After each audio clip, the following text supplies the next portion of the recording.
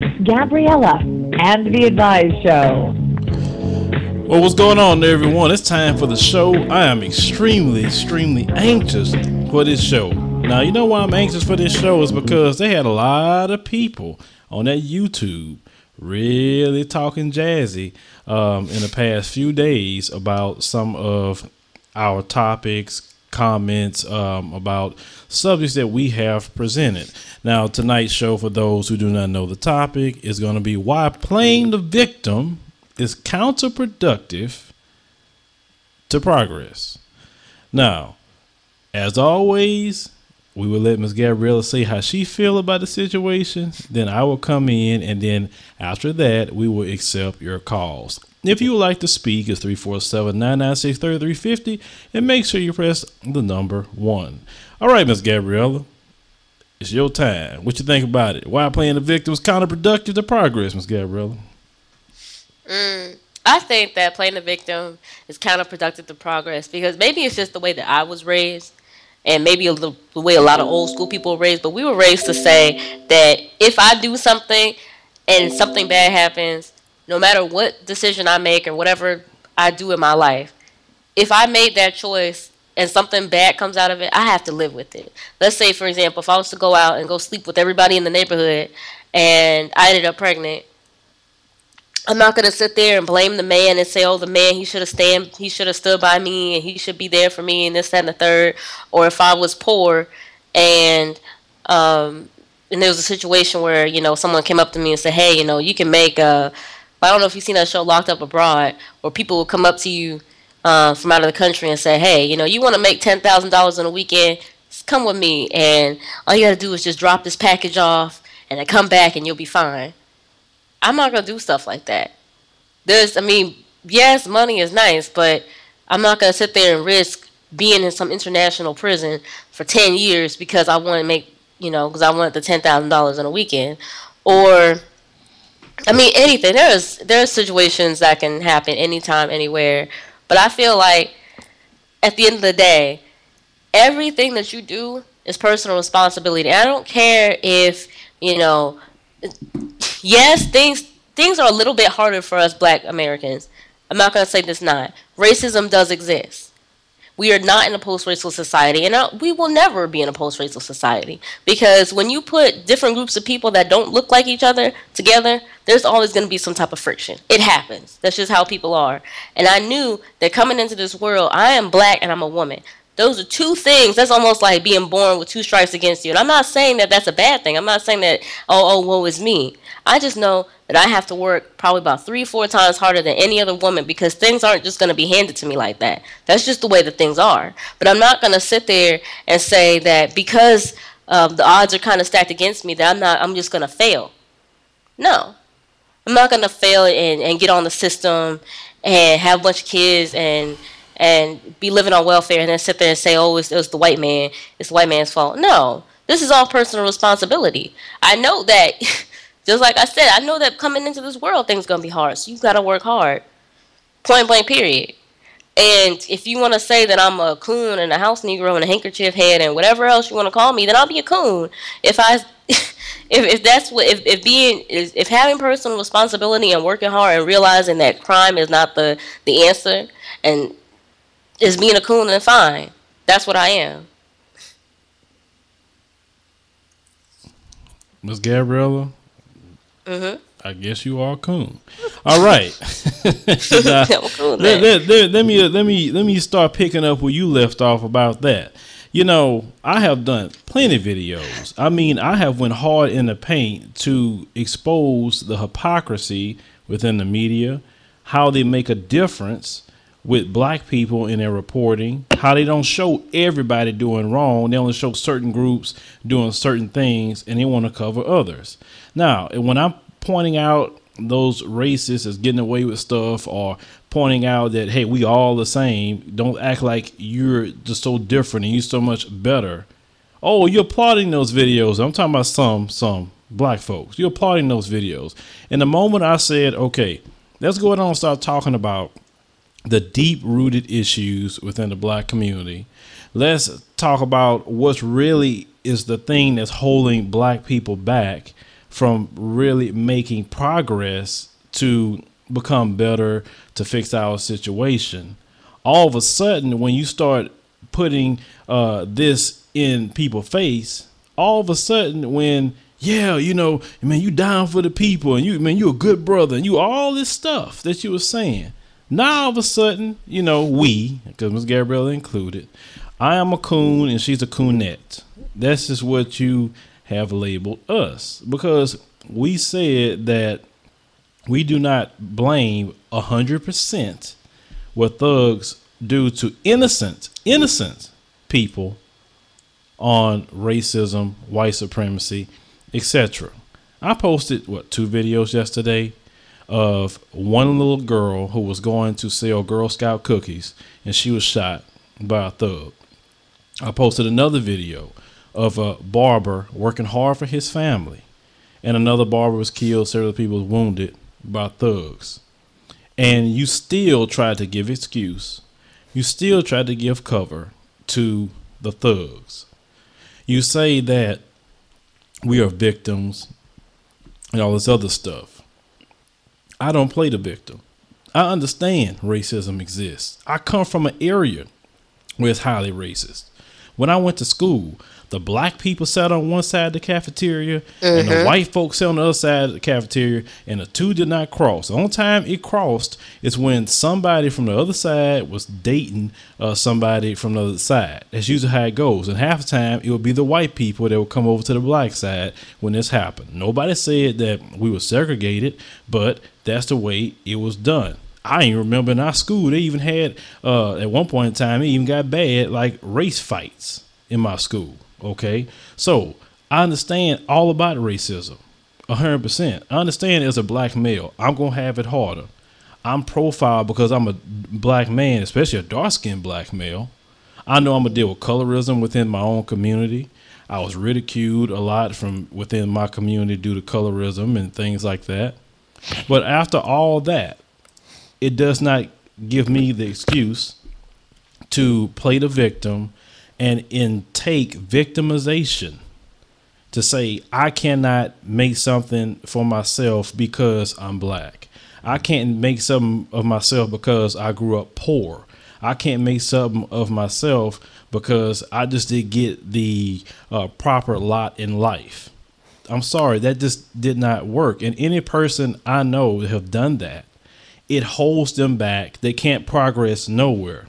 I have a family member who has been in a perpetual victimization of themselves for years. I've talked to them over and over and over again. And yet they still will not get out of the victimization that they're in inside their mind. And it's so tough to talk to somebody who feel they are a victim to something. And you see that, look, all you have to do is just do this and you'll be okay. And they will not do it because they view themselves in a, as a victim. Somebody needs to help me. Somebody feels sorry for me. And when you're in that state, you can't progress to bigger and better things. I understand some of the things that we deal with, especially as black people in this country, it's not easy. Understand about stereotype. Understand uh, about the looks. Understand how we can be first uh, fire and, and last hire. Don't think I understand this stuff 100%. And you can look through my video library and see how much I understand it and see I have posted these stories time and time and time again. But at the end of the day, racism is going to exist due to the fact that is a sin of the heart. As long as people are teaching small children to hate people that's different races, then you're going to have racism. And what government entity could really govern the issues of the heart? So that is the problem. But when it comes to us, or even in your personal life, you can't take uh, the role of playing the victim and expect to progress. All of us been through some stuff that's traumatizing. You can uh-huh. go through a bad uh, relationship.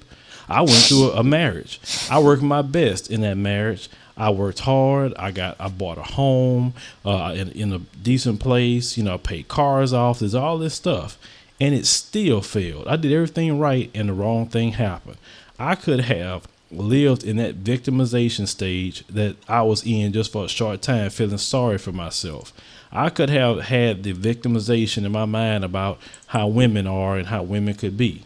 But I learned and said to myself, I'm sorry. Life has to continue. I have to get over it. I have to stop feeling sorry for myself and move on. And if I would not have done that, we wouldn't even have this conversation because I was nowhere near the point I'm at now, even with what I do online. What I speak is something that I had to live. Some of you get upset when you say, uh, well, when you hear, I'm sorry, certain things being said, and you say, well, they are racist talking points. It's a difference between when I say it and when a racist say it. When a racist is telling it to you, they using probably uh, some sort of fact with it, but they there's the spirit behind it, and the spirit is shut up, Negro, uh, because we don't want to hear what you got to say, because we don't want you talking about the racism that we do to you. When I say it, I'm using a fact also because I care about you and I do not want you to continue in the progress that you are doing right now, which is about much of nothing.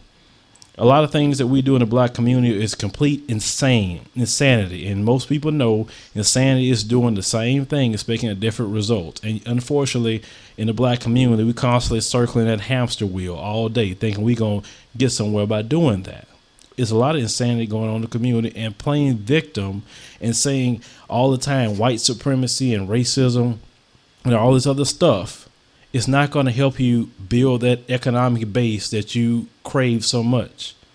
Playing the victim and saying something about white supremacy and racism 24 7 is not going to bring us into a greater era. It's not going to do that. We have to say, okay, we know this exists and we'll deal with that.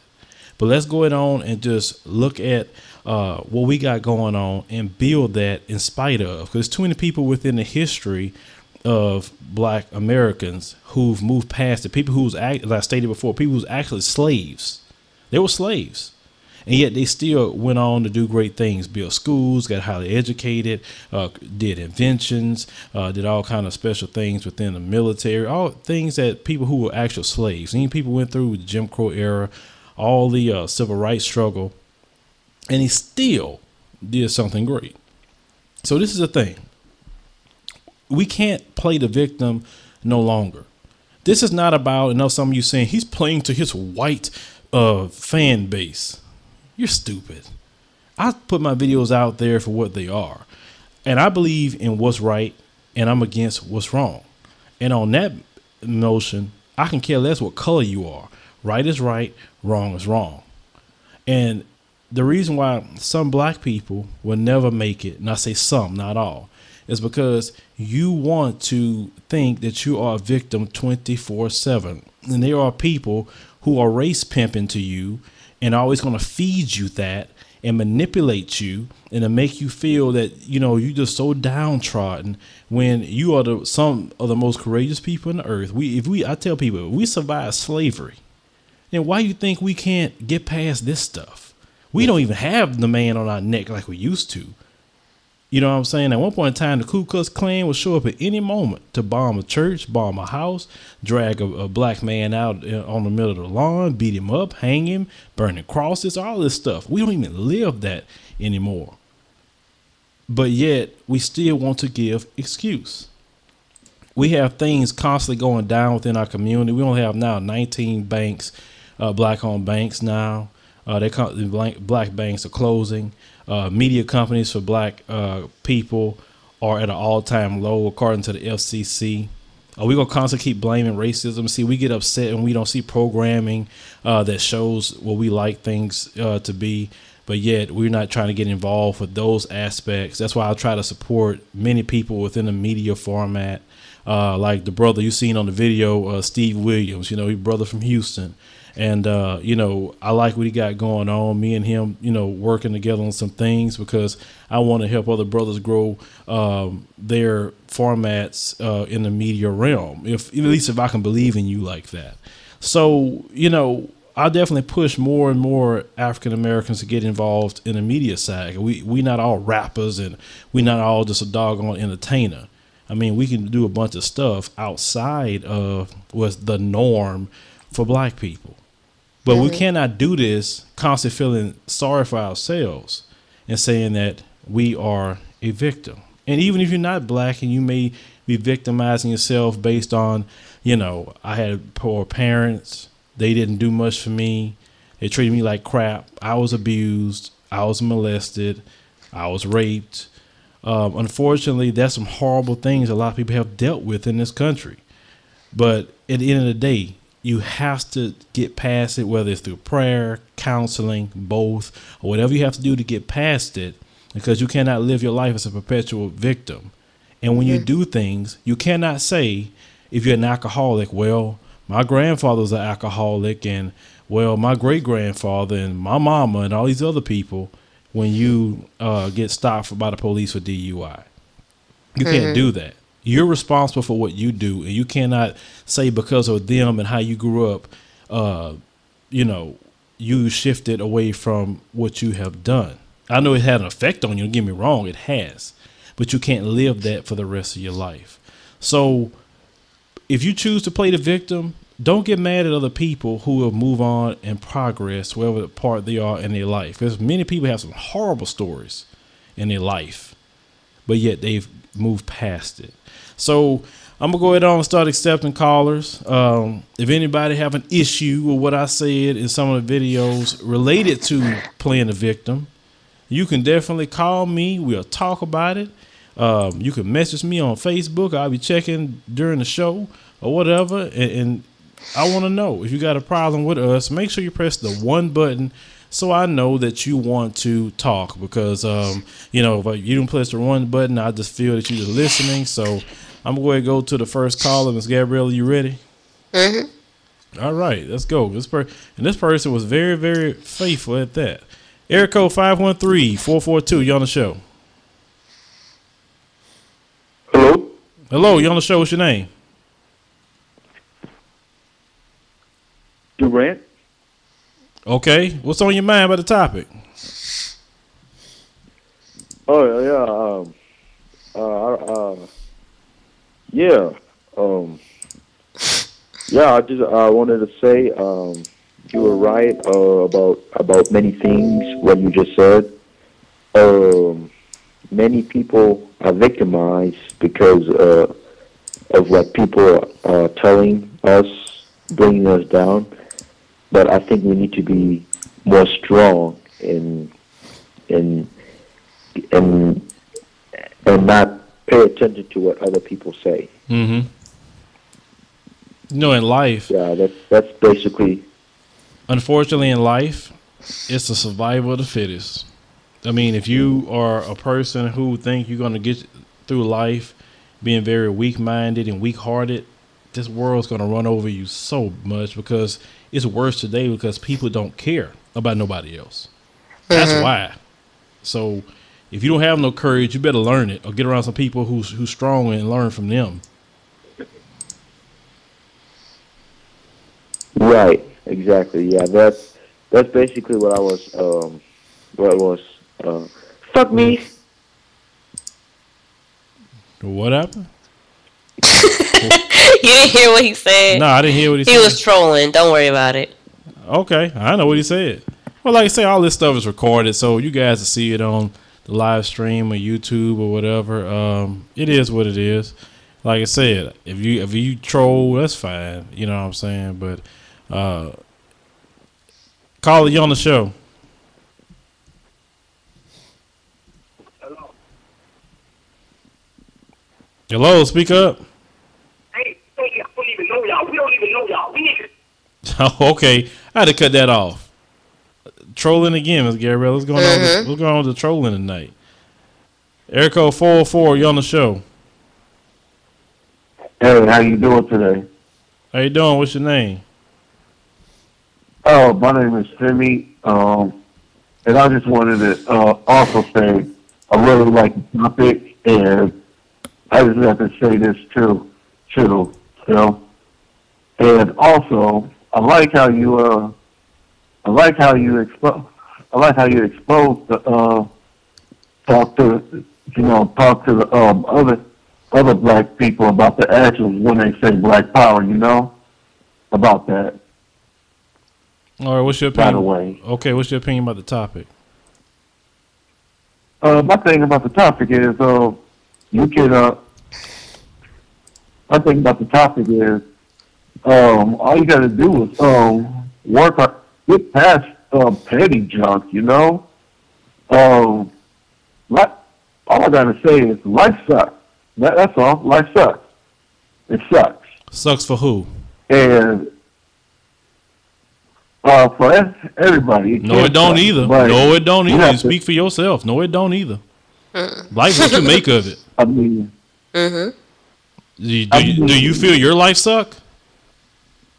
No, no, no, no, no, no, no, no. Okay, um, well, you made a general no, statement, no, no, so that's why, that's why I'm just trying to respond. Yeah, to but making, yeah, a general, uh, a general, uh, you know, a comic, general comic. Um, but, but it's up to you. It's up to you to work work hard and uh, to stop making excuses for yourself. And I can't stand how many people just make excuses for themselves. Oh, uh, oh, my daddy was in jail, so he didn't take care of me. Oh, I'm this. Oh, I'm that. Always the excuses. You know what? I have a disability and black and black and and just as dark skinned as you two. And and I'm almost um, done with college. Mm-hmm. Almost graduated this year. So well, that's good. Ain't got ain't got. So my thing is my thing is if people would just stop making excuses, it would be a yeah, it'll be a, a lot better for them. You know? Yeah, I hear you. I hear you 100%. Well, appreciate you calling. Yeah. Oh, yeah. All right. Had to come off, Ms. Gabrielle. Ms. Gabrielle, got anything to say before we take the next caller? no, let's go to the next one. Let's see what they have to say. Yeah, we we trying to see here. I be one of the people call that's always got something to say, though. Uh, caller 315-561, you on the show. Um, hello? How you doing? I'm good. I, the one from Facebook, message you. Okay, or is your name Kim? Yeah. Oh, hey, Kim, how you doing? Good. Um, I just wanted to say, like, just two quick things about the topic. One okay. is that, like, within the black community, mm-hmm. I believe that people often are just like wishing and hoping for things to change instead of actually working towards progress. And that's one thing that really hurt our community. And I, I'm Christian, and I'm not trying to get on anybody who, I guess, religious, but a lot of times people are also praying for things and they're not working, and they feel like God's just gonna like drop down something from I don't know where and like help them instead of like wanting to actually help themselves and so that's like really hurts the black community because we're always in church and we're always like praying for things and we're told to just wait, be patient, and things will happen instead of to like work hard. I feel like. And the other thing is like a lot of well, some black people don't like to get out of their comfort zone. Oh, oh, oh now you like, get a nerve. No, no, they don't. You get a nerve. And yeah, like, you did. But it's true. Tell, no, I'm not gonna say it's not true. Oh, that's what white people do. We like, don't do that.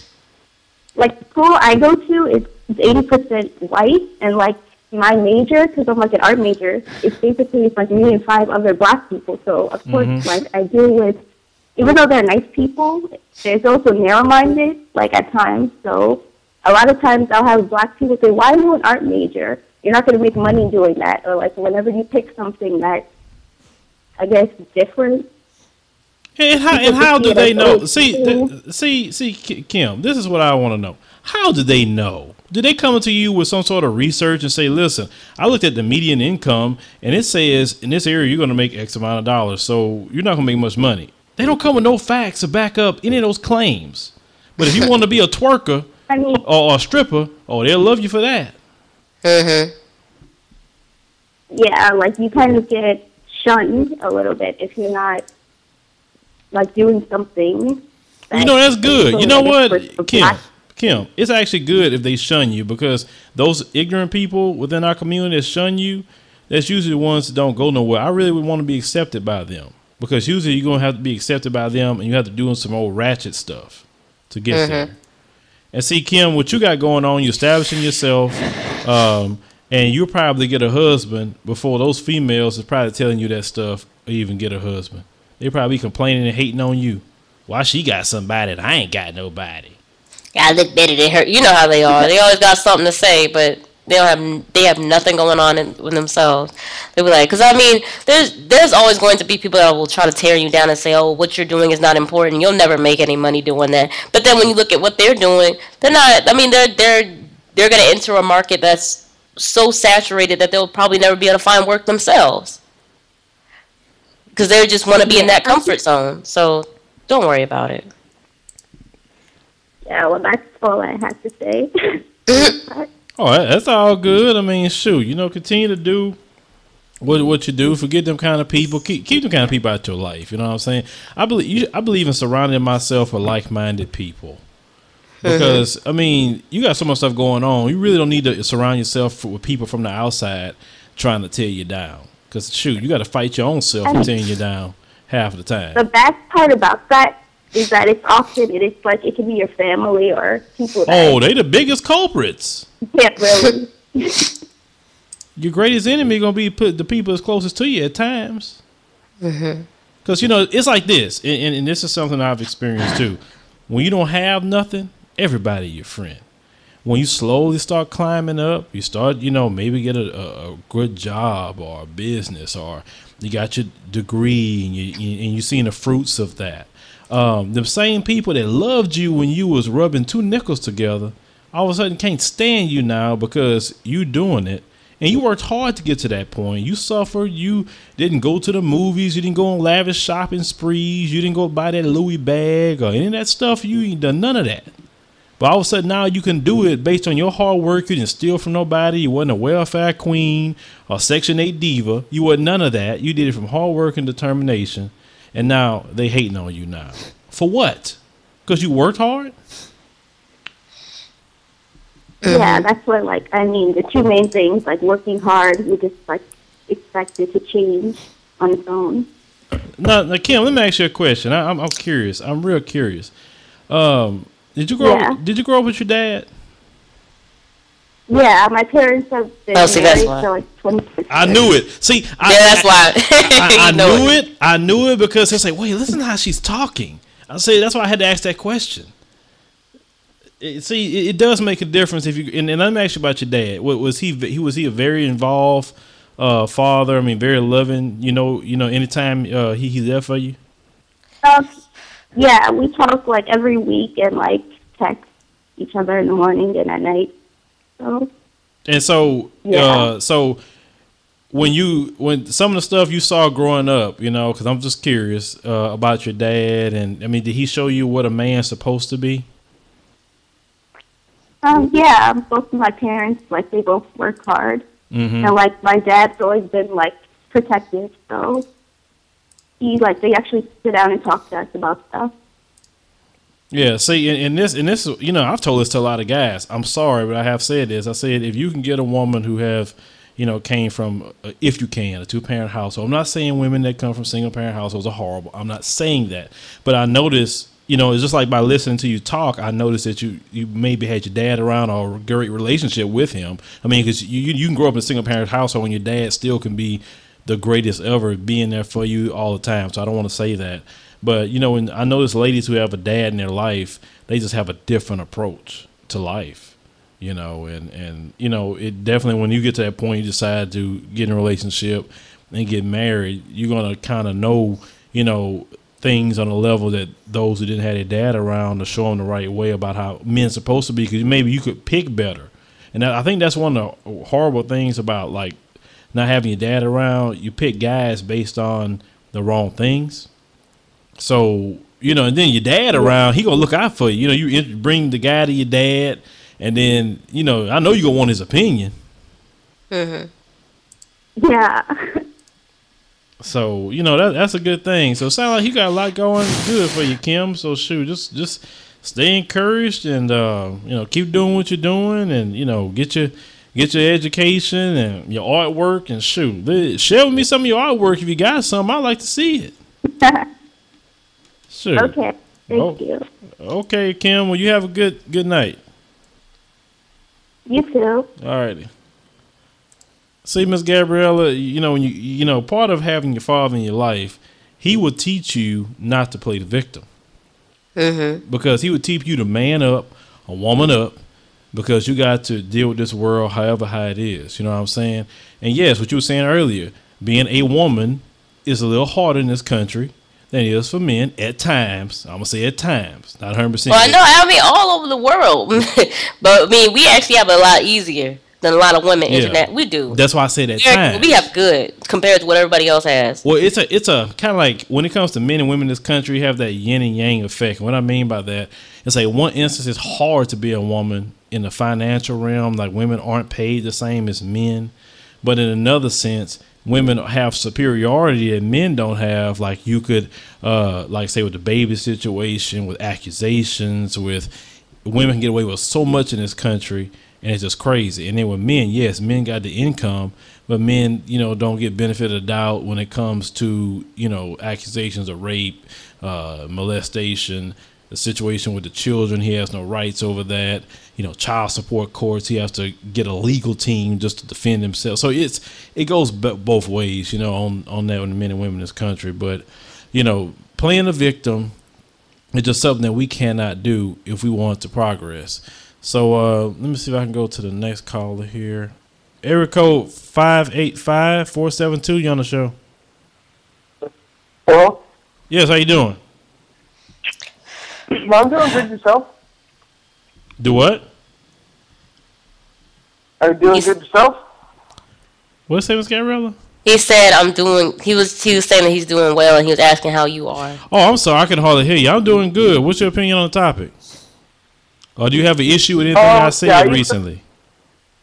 No, no, I'm I'm completely on board with you. Uh, I agree. I've been watching your show for maybe two years now, mm-hmm. and I agree with most of the stuff you're saying, especially on this topic. I I used to have to play the victim. I'm 14, and I have something called OCD, and I know what that you know, is. It makes me worry about what. I was like, I know what OCD is. Oh, you do? Yeah, it's obsessive compulsive disorder. Is what you talking about? Yep. Oh my god, that thing is a pain. I'll tell you.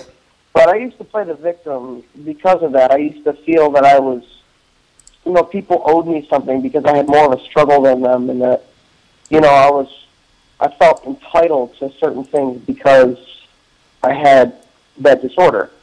And now that I'm a little older, I'm not too much older, but because I'm only 14. Uh, but I realized that playing the victim doesn't really get you anywhere in life. Uh, I've like after I saw your videos, I kind of like I started my maturity spurt started. My like I started to become more of a leader in my classes with uh, everyone. You know, I helped everyone out a little bit more. I used to bully people because I was bullied, and I stopped that uh, years uh, ago now, mm-hmm. and I it just like when I was in that period, and I looked back at that state that I was in, you know, I, I I really did see not much progress. And now that I look at myself, you know, now and the things I've accomplished since then, I feel that you know I've accomplished so much more, and then it's just it's just useless to kind of play the victim because if you play the victim, all you're doing is you're just crying and you're not getting anything done. You know, it just you just don't get anything done. You know. Well, yeah. When you play the victim, you literally stop in life. That's no different than you know you're driving your car and you just go to stop, put it in park, and you can rev up the engine all day long, but until you put it in drive, that's on time that car is going to move. And that's when you're playing the victim. You you put it in park but you're constantly revving the engine up constantly because people see you complaining, people see you uh, feeling sorry for yourself and everything, but you're not going anywhere. And unfortunately, I have people that stay in that car for the rest of their life until they get old and gray, and some of them die, still believing they, you know, people need to feel sorry for them. And at times, people will feel sorry for yeah. you, but people, people, you actually will inspire more people when you say, you know what, I was this, I did do this, but I moved past it and done this. That makes a great story. Shoot, that makes great movies for people to watch to show how a person's overcome something yeah. that a lot of people don't. Mhm. Yeah, I, like I have a couple friends that I used to like. Now I don't hang out with them because they were kind of counterproductive to, to mm-hmm. themselves mm-hmm. and to me. And I don't mean to sound selfish when I say that, but they just, you know, mm-hmm. they were. Me and my friends back, and when I was maybe nine, we used to call it. We were like more like kind of like juvenile delinquents, not necessarily like thugging fights, but just like messing around and stuff, like a little disorderly, you know, not not uh, like hurting people or anything, but like you know, like uh, keeping people's houses, egging people's houses, stuff like that. And now that I look back on that, and, and they still do that sometimes, and I just I'm like, boy, y'all taking a risk doing that stuff these days. y'all taking a risk doing stuff like these days. People these days they have no problem pulling that pistol. So you take well, you take nope. definite risk. yeah, back, back in the day, New York. back back in the day, oh, you say New York. Oh, if you're in New York, yeah, well, you yeah, you got a little bit more of a chance because you can't yeah. really have a gun over there. But you know, back in the day, they used to pull yeah. that belt off and whip you with the belt. Now they not even bullets at you, you know. So society here yeah. definitely changed. There's the thing that I think about living in New York. It's like because we can't own that many guns. It's like it's like limited to very very little. And like I'm not a huge guns fanatic. I'm not insane, but it's just ridiculous. And not only people can't protect themselves against, you know, like thugs and you know stuff like that, and it's, mm-hmm. it's, it's just terrible. And now he's taking away education money, but yeah, it's a, that's a different topic. Yeah, I hear you. But uh, man, I appreciate you calling the show. I'll move on to the next caller. Yeah, all right. Thanks for your uh, videos and keep doing the good work. All right, man. Thank you for watching.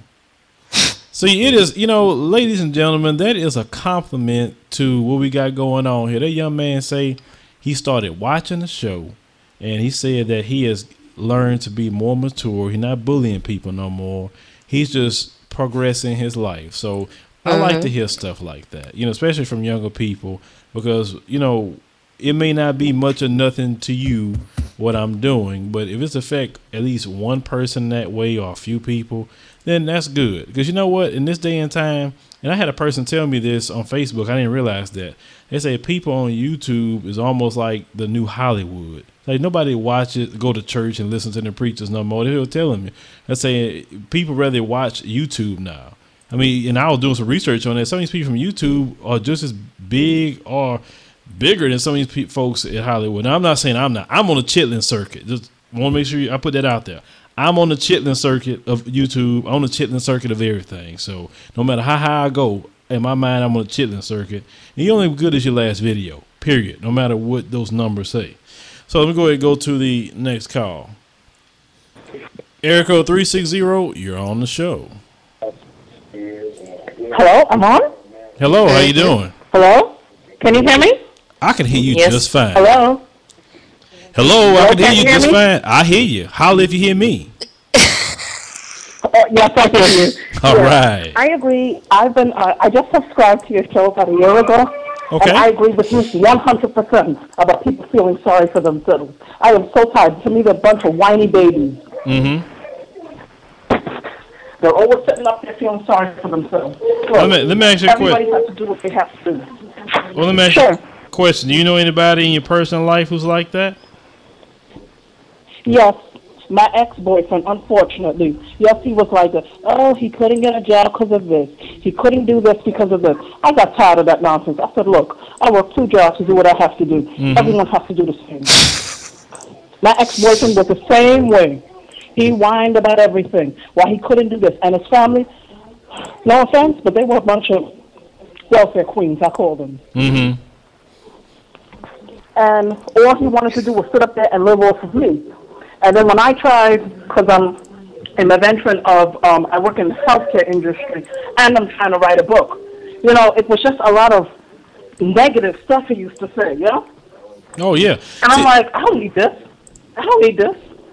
Exactly, and you shouldn't have nobody around you like that. See, the thing is, when you're the type of person you got stuff going on, you're trying to make some of yourself. People like that, you, your tolerance level gonna be very low for them because.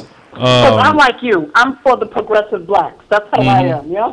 Yeah, hundred percent. I'm all for the progressive uh, uh, uh, black people for sure. I don't have time to deal with those who want to cover for thugs and. Uh, oh Lord, that the kids? Is that the kids? Hello? Yeah, hello. Is that the kids? I could. Oh, no.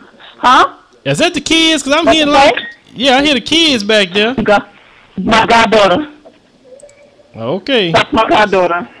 Oh, okay. Okay. All right, I kind of heard. I said, okay. what's, what's, going on? What, what, what, they, what they doing? Playing back there? Yeah. okay. Tell, tell, tell them, tell them, uh, the Sponge, is SpongeBob on? tell them watch, watch cartoons.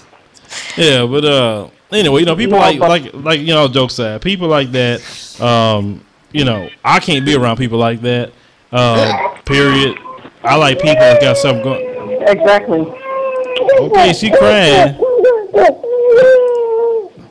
Well, I, like I said, is that how you talked about the other day when you talked about these thugs and stuff like that? Mm-hmm. I agree with you about that one. A lot of people like to uh, thug sympathize sympathizers is what I call them. You know. Mm-hmm. Why am I going to yeah, and they say and they say and did you read some of them comments? Did you read some of the comments saying that me and Miss Gabriella are coons? Are you serious? Are you yeah, serious? they said they said all kinds. They said they were very stupid and ignorant. I got a video. Why would I want somebody shooting up my neighborhood?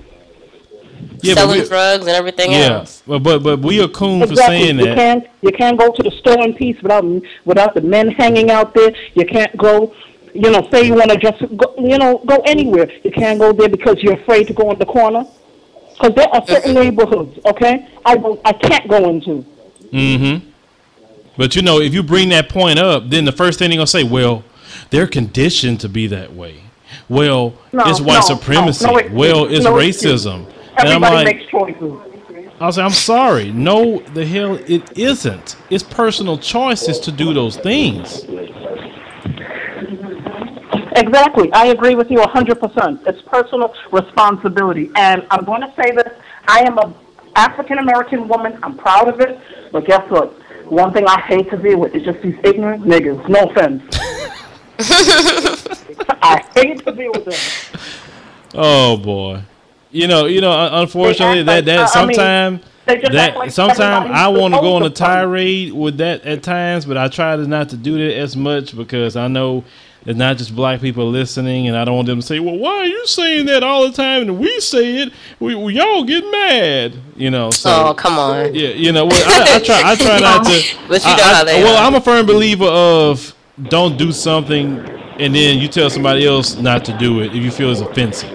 I you know? agree with you 100%. So that's why I try not to use that word a bunch in my commentary. And at times I may just have to say it because that's just the best way to describe something. But if I can, I try not to. But hey, I understand your point of view, you know, and how you feel about that situation. And it's not nobody um, we should accept. You know, I rather look at them as the regressives in our community. Um, you know, that I think that would be good to call them that the regressives. Uh, they don't want nothing, not gonna do nothing. Um, they looking to victim blame. But yet I want them. I'm looking. See on YouTube, but I can't stand people talk all this crap. But when I put on these live shows, they do. They do. They don't call. They do just like they, they don't call and say. And, and, and, try to, yeah, like go in on me on the phone. That's what I'm saying. Tell me what. How am I wrong? That's what I want to know. Tell me how is white supremacy. Tell me. Maybe you can convince me. You never know. But you never. Most of them don't even try to call, and I and I make sure to put these shows up well in advance. I make sure to get the promo video up at midnight or right after midnight of the day I'm gonna do the show. That way, I'm giving ample notice the show is gonna be that evening. You know what I'm saying? So, um, I agree. It is what it Trust is. me. I look at it like this. Like I said, when you said people like to play the victim, trust me, I've dealt with enough of it. That's why I cut all the haters out of my life. Yeah, mm-hmm. yeah. I can't have people around me like because that. That's all they like to do is sit there, complain, and act like they owe you, like you owe them something. I'm like, come on, give me a break with that. To me, they're a bunch of whiny babies. A lot of them are. They just want something. Like yes, they are. And another thing, Phil, I'm gonna take your advice about that concealer weapon. Oh no, I agree with you 100% with that. Because it's it's not fair for people who are working hard, doing something with themselves, and these thugs to come there and try to do something to you.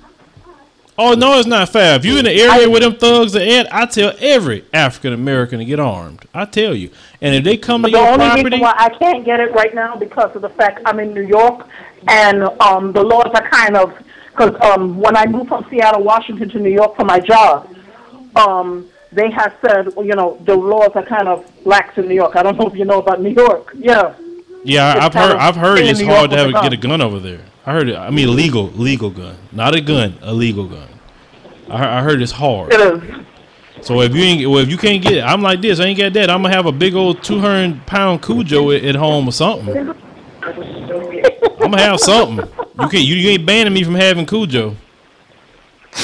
Exactly, because I don't think it's fair. You know, you work hard for something, okay, and for someone just to take it from you, or to think they can do that. You know. Mm-hmm. Yeah, yeah I, I, I agree to I agree to 100. percent That's what I love about Texas. We we have so so we are so lax here on things, and then they're still debating right now about open carry. Oh wow! Well, they have open carry for rifles, but they're debating open carry for handguns because they have concealed carry right now. You know, so compete. You know, Texas. Oh. If you want to start World War Three in Texas, tell them you're gonna take the guns away. Good luck with that one. this is in a, this is a Republican state, big time on that. So. But you know, hey, everybody have a right to defend themselves, and it's not right for these thugs to come try to take take your stuff from you. And you're hardworking, and um, you know, feel like they you you know, oh, they got it. Shoot, I'm going I'm, I'm going to take it from them. You know what I'm saying? Forget that.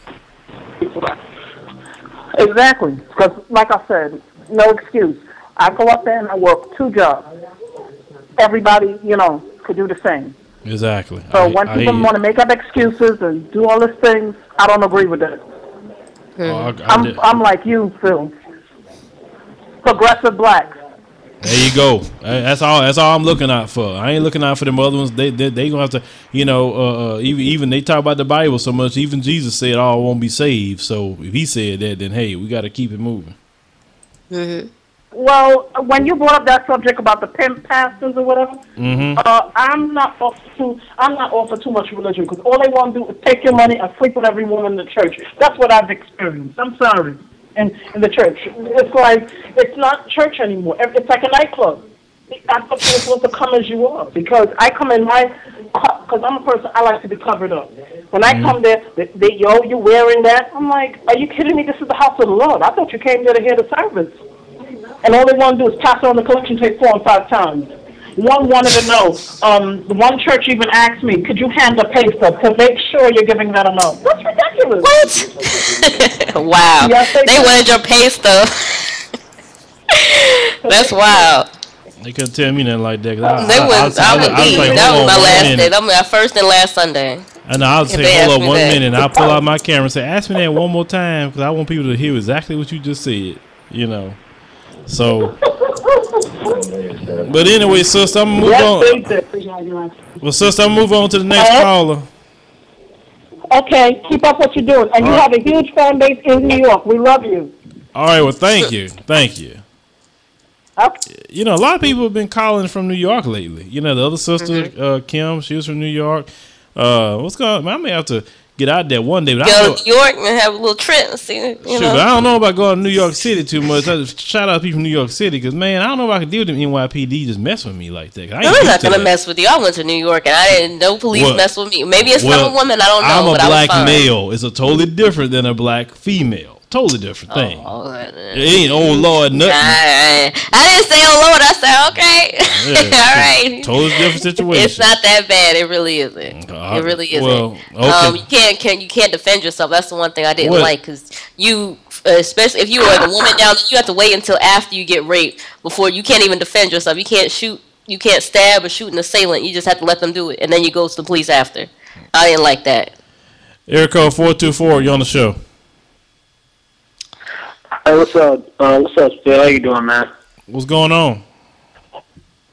Hey, I was uh because I didn't I didn't um because I wanted to tune about the black genocide, um but but since we're talking about this, this you know it's gonna lead into that um because I understand like y- y'all don't like when folks talk about white supremacy and I or or or or, or, or Oh, y'all before we talk about personal responsibility, you want to talk about personal responsibility as well as white supremacy, and I agree. Um, because I, I, honestly, I don't think before we talk about personal responsibility, we need to talk about white supremacy. I understand. Well, okay, let's stop right there. Let's stop. Hold on, stop. Why do we need to talk about white supremacy? Why? It, it, here's why. I, I understand that. Yes, yes, yes. Brothers are socially. The, the, the yes, brothers socially conditioned that, that that's just how it is. We already know statistics. We already know why. You know, locking them up is not always going to solve the problem. You know, I live in California, prison capital of the world. You know, we got 30 prisons or more, 30 or 40. All of them overpopulated. County jails are overpopulated. You know, it's just, and we already know prisons is big business, right? You oh know? yeah. Oh, I've done a video about we, that. We, how, we, how private prisons. We, have a, wait, wait, wait, wait, wait, wait, wait, wait, wait, wait, wait. Let me this. We as a community have to take because because I, I ain't gonna talk about white supremacy. I'm, I'm gonna talk about personal responsibility. We, we, we as as a community need to take initiative and and raising our young men and our young women to be good, outstanding citizens. Because when it comes, because and not always run up saying, okay, he's a thug or she's a thug, and throw him in jail, because that doesn't always work, and that doesn't always work. Uh, Judge Mathis was once a thug. They were reformed him, and now he's a judge. You know, Malcolm X was once a thug. They were reformed him, and he was a pastor. You know, we need to go back and take more initiative in, in our kids and our children start writing them off. Now, okay, nobody said that a thug couldn't turn his life around. Nobody never said that. If he chooses to turn his life around and do something good, that's great. That's a testament to him that he was doing some stuff that was wrong and did that. Understand that. But what I'm saying and my issue with thugs is when they kill the innocent people in our community.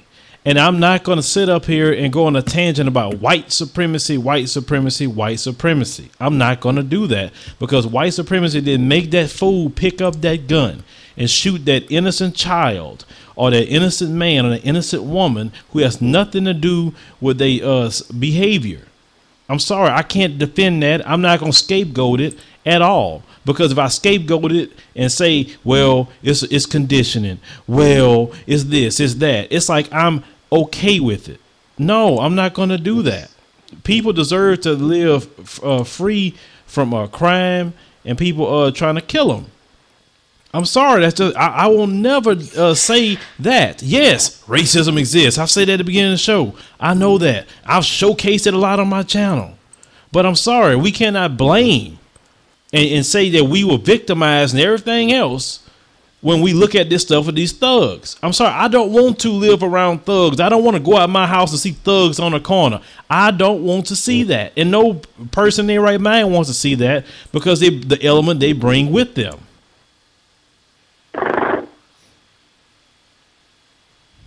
Uh, agree, agree, cause agree, cause, cause, I hear what you're saying. Like, let's just hold the misconception of people when people talk about um, snitching or whatever, you know, they say like, like I like I usually tell my friends, like if I see a dude in a car, I'm gonna call police, and they say, oh, you know, no, I ain't gonna say because I don't snitch. I'm like, hold up, man, you know. First of all, I would not do nothing. Second of all, that would code amongst criminals. I don't believe in that. You don't believe in you know, what? You don't, you don't believe in what? No, he said that the no snitching thing is a code amongst criminals. So if you're not committing crimes, now okay, snitching is when you're doing the same thing and you tattletelling on someone because you don't want to be in trouble, even though you're doing the same thing. If you're actually, if you are an innocent person and you are reporting crime, that's not snitching. That's just trying to keep crime out of your neighborhood. I, That is I what it report, is. I will report a crime in a minute. I'll report a crime in a minute. I will. I'll call. I'll call the police in a minute. You know, it's it's it, and it's so it's so sad today because when you explain it amongst people uh, amongst amongst, amongst young dudes, they just don't know. They just they say, "Oh, oh, you shouldn't tell. You shouldn't tell the community." We need to take we need to take take back our community and just just reform. We gotta clean it up. You know. Yes, yes, we're in no social conditioning here. We gotta do something about ourselves. It's just like it's just like Mal- it's just like Malcolm X said. We, we we can't we can't we can't you know give it to the powers that be the problem. They, they created the problem. You got you got to solve the problem yourself. Take back your community. That's just how it is. It's All right, man. You know- well, like I said, I definitely appreciate you calling. I'll move on to the next caller. Thank you. Um, let me talk about this before I move on to the, to the next person. He brought up the no snitching. I like, don't you see how backwards and warped that thinking is? Okay, you got a guy who shot up somebody, but it's a badge and honor to you. I ain't no snitch. I ain't snitching. Police ask you, what happened? I mean, did you see anything? No, no, man. I ain't, I ain't see nothing. And they always say, well, they always say what the excuse is, well, when a thug kills a black person, they go to jail. When a white person kills a black person, they don't go to jail. There's a lot of times that thugs are killing black people and they do not go to jail either. Why? Because like, man, I ain't no snitch. Sure, I ain't no snitch. It's like, like a badge of honor, like it's it's a Nobel Peace Prize or something. To I ain't a snitch. You could be walking in, a dude raping a chick. The chick is like, help me and, and whatever, and you like, sure, I ain't no snitch. I ain't gonna say nothing. Like that's why you can't be around people like that. I'm No, sorry, you can't. can't. That's stupid. If something happening to me, I don't want nobody to say, "Shoot, I ain't no snitch. I ain't saying nothing." like that's why the, that's why the neighborhoods are like the way they are. Exactly. That's why I mean you can't even just like um the, the other the last well the caller before last said you can't even go to the store without something happening to you. There's certain neighborhoods I would never go in. There's certain neighborhoods even uh, even in Raleigh I cannot go down like I cannot get out my car and walk around. I can't even drive in some parts of the neighborhood because something might happen. And nobody will say anything because there's no there's no no snitching. Oh, I don't want to snitch. I ain't saying nothing. You know. Oh, that's lame. You know. I, I ain't lame. I'm not gonna say. Oh, that's the most stupidest thing ever. You Yeah, can't even call for help in your own community. You can't, just like you said, you just have to sit there and if someone's raping you, you just have to kind of just lay there and accept your fate, I guess. Because because you can't get because people don't want to snitch. Yeah, that's that's stupid, man. That's so it's so stupid to me. I'm going to go to the next caller. Here code three one six. You on the show? Hey, how you doing? What's going on? Uh, no, no, I'm just calling to talk a little bit about the topic we got. All right. What's, what's your position on it? Well, I mean, I agree with everything like you're saying, especially about, you know, people feeling sorry for themselves, you know what I mean? You, you made an uh, important point when you said about getting the help that you need. Because, you know, we have to recognize, you know, there's a lot of people that's, you know, down and out, but they need that avenue, you know, to go get that help. They need to make that decision to come out of your comfort zone to, you know, look towards bettering yourself. You have to recognize that, you know, you're in that position. And we do have a lot of people, you know, that, you know, refuse to do that or they blame others, you know, for, you know, their problems and just want to stick in that same position, you know, for too long. And that, you know, is counterproductive. Exactly. Um, so why why you, the- so why like you think the people? like we had last week, you know, about thugs and Uh huh. you know the genocide and stuff like that. Mm-hmm. I think that I think it's important, you know, to, to talk about, you know, all that. The several people calling you a, a coon and stuff. That's ridiculous. You know, you know, you can't even pay that any mind to someone who's going to head that way as a, you know, a fool to begin with. Yeah, I like- think it's. uh You know the funny part about that. You, know, you can agree to.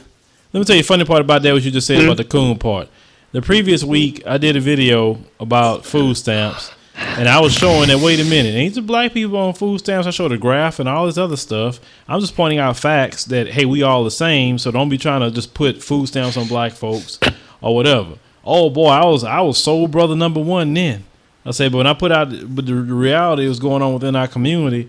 That's when I became a coon because I was saying, wait a minute, it's our responsibility to fix our problems, and we can't shift blame on Whitey with this.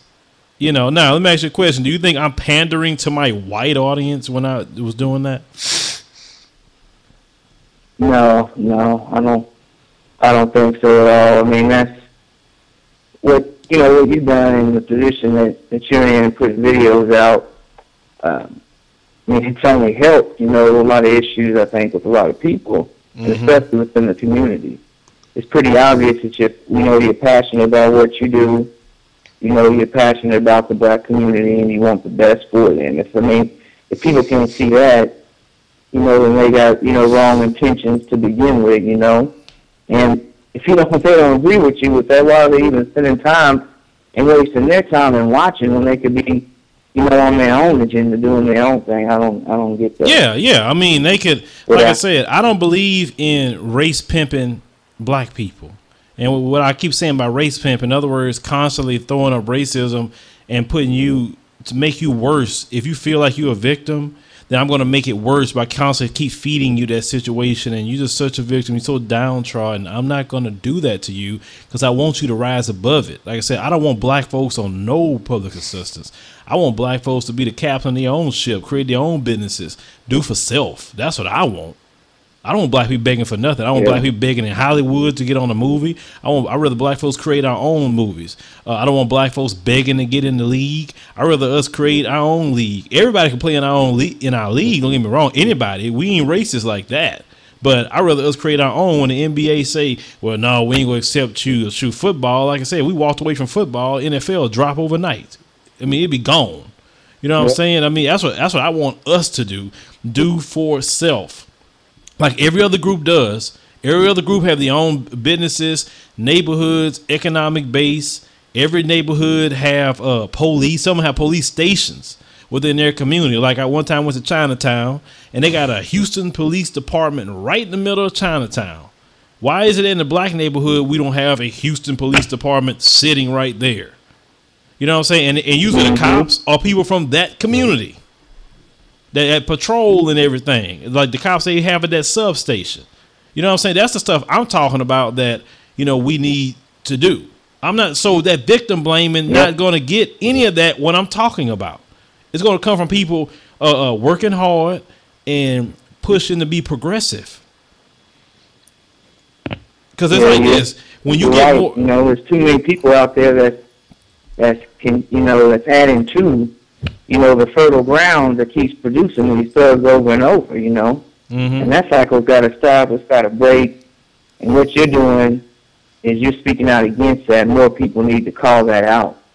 You yeah. know, because in the end, it, these people got to be fooled because there's no way they can tell you or tell me, you know, that they support what these thugs are doing out there. You read up what you see these thugs on TV and these interviews. They ain't the ones calling in your show you know, right in. They just out there, you know, running amok and causing trouble everywhere they go. These people defending them, they wouldn't spare their life for one second, you know.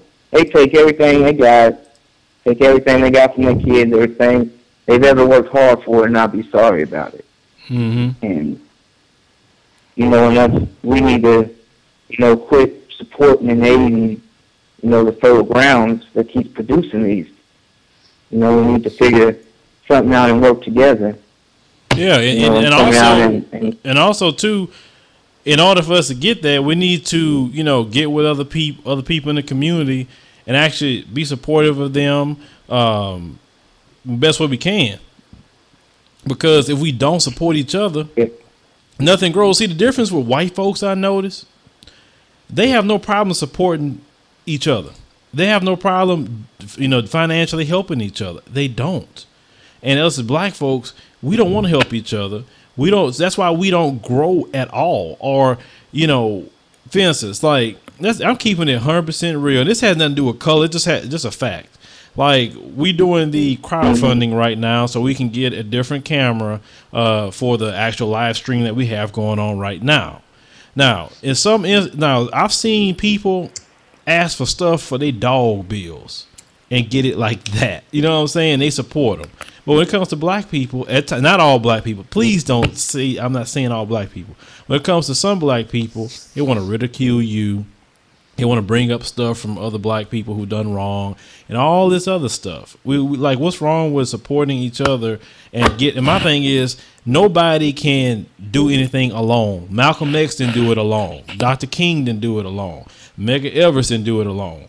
You know, everybody had Marcus Garvey. Everybody had people to help them push the message in some way, form, or fashion. Whether it's spreading the word, uh, you know, donating, you know, something to help spread the message. In this day and time, our message is um, spread through social media, through our own websites. And the great thing about that is that we're not controlled by the FCC. We could talk about what we want to talk about as long as we're not violating uh, local, state, and federal law. We could talk about what we want to talk about. And this thing is, as black people, we need to own our own stuff. You know, some people say, "Well, you should be on the news." I really don't want to be on the news because they're gonna they're gonna literally destroy me. What I mean by destroy me is yes, I'll be getting the big checks, but mm-hmm. the message I, am saying now, I'll have to shut it up. I couldn't say much. I'll have to say the stuff just one, and then one thing I say, I probably get suspended. Like you know, it's like Stephen A. Smith type of stuff. Oh, he said this, and and he needs to apologize. I'm like, I ain't apologizing for crap. So you might well fire me. I ain't. Mm-mm. That's why I wouldn't want that. You know what I'm saying? So we, you know, we need to try to support each other. Let's say, unless y'all want the economic base. The problem is, as black people, we have individuals that's highly successful, but why is it that success never happens to the group? Yeah. You know, so you know, like I said, as anybody who listening, if you haven't donated to the crowdfunding we have, we have a link in the description box. Uh, that'll be on the video on YouTube or any YouTube videos that uh, I got going on. I got perks. Just want to make sure you know that. Um, you can go through that and see what you got going on. If you want to be a guest host, as a perk for that. You, uh, for those of you, because I'm just funny like that at times. For those of you want a custom made shot glass for a perk, we have that. That I don't sell in my spread show. Stop. Shop, I'm sorry. I mean, a lot of things we got just in case you want something in return of giving a particular donation. So um, it's still going on. Uh, Miss because Miss Gabriella says she we, we need to move up. You know, Miss Gabriella gets on to me. She is the mom of the show. Well, I mean, I'm trying. I want to see more. I don't want to just be in the in the house. You know, even for me. Um, I mean, I do make my YouTube videos, but at the same time, I'm always trying to. I actually want to be more than just an online personality. There's absolutely nothing wrong with that, but I, I do want to expand. That's why I'm always networking. That's why I'm always saying, hey, I, I do this radio show. This is what I have going on. I'm always trying to advance. And, you know, this goes back to personal responsibility. I know that um, you know my dreams are not to sit in someone's office and be and be pushing papers and making money for somebody else. Mm-hmm. And so I want to create an avenue for myself, which is why I'm always working. I'm always networking. I'm always reaching out to people and talking to people. And any opportunity that opens up, I take it. Doesn't matter how big or how small, I'll take it because you never know. And so I'm not going to sit there and have that as an excuse and say, oh, well, oh, woe is me. I'm a lowly black woman. You know, I'll never make anything of myself. The only future I have is being a booty model and a stripper and a twerker and all that. I'm not going to sit there and I feel, I mean, there's more to life than that. If that's what you want to do, that's on you. Go ahead and do you. But for me, I see more, you know, in my future. All right. So, you know, uh, brother. I, I will. Do what? I will be. I said I will be helping, and I will donate to the cause because I. Oh, well, I we, de- we definitely appreciate that, doing, and I want to keep seeing that too. Well, I definitely appreciate that. Like I said, it's it's to spread this message, man. I mean, because like I said, what what motivates me even more is that call I got earlier. That motivates me. You know, to see to hear a young man turn his life around based off of watching YouTube video. So obviously, what we got going on here is affecting people in a positive light. And when I meet people in the street that actually recognize me, it's always something positive. You You know, and it's from like say mm-hmm. a lot of younger younger men, and that's good. You know, I, I love that, and that's really what we're trying to do over here. You know, is do something positive. So I appreciate you calling and uh, like you say, what you say? You've even helped me with financial decisions because I've watched your financial videos, mm-hmm. And you've helped me in that area, like financially, like you were talking about how to restore your credit, you know, about the importance of putting money away and things like that. So I appreciate that. Yeah, and I haven't I haven't got into it and, yet. I haven't got into it yet, but I also want to do a video about uh, buying stocks um, because you know your your brother your brother do buy stocks. So, but I just haven't got into that yet. How yeah. you do it so easily? I mean, it's too easy to do it. Uh, but appreciate you calling, man. All right, thank you. Uh, um, yeah, we trying to put out good information out here. That's what we're trying to do because it is like I tell people, playing the victim, you know, it's not going to get any progression. Like what that young man said about uh, watching a video to learn about your money, uh, credit. Uh, like I said, eventually I'm gonna put out a video about buying stocks. That's how you build your economic base. You can't mm-hmm. build it off of well white supremacy and racism and you're not going to build anything. What about your kids? What about your future? Don't you got some dreams? Don't you want to do something for yourself? Don't you want to be able to give back to kids that's less fortunate? Like i was telling my wife today i want to create an advice media scholarship program that i can at least give a scholarship to you know uh, some some uh, kids who who deserve it uh, who don't have the uh, means to at least pay for some of the college uh, I mean, that's things that I would lo- want to do. I mean, I want to definitely give back, but how can I do that if we don't try to expand, grow, and uh, bring you know other people in? You know, eventually we want a, a, studio, a different studio to have now. That you know, like I said, everything going right. Shoot, I put that studio together. You may see Miss Gabriella twenty four seven on the set. You never know. But by that time, I had to pay Miss Gabriella some good money for that one. uh, you know, because I don't do that kind of business. But uh, let me go ahead and go to the next call. Air code eight three two. You on the show? How y'all doing? I'm doing good. How you doing? I'm all right. What's on your mind? Um, about the topic, I agree and disagree. All right, give me what okay, you give me the disagreeing part. Disagree. Yes, please give me the disagree. Um, there are some people who are actually victims of things, and and I don't want those people to be dismissed because every life isn't equitable for everybody. So, like you talked about earlier about, you know, people who've been molested, they might mentally be a little messed up for a while. You know, there, there may be people who had traumatic experiences they may be a little bit messed up for a while. They may need a little more help than somebody who just got injured or something or saw something bad one day.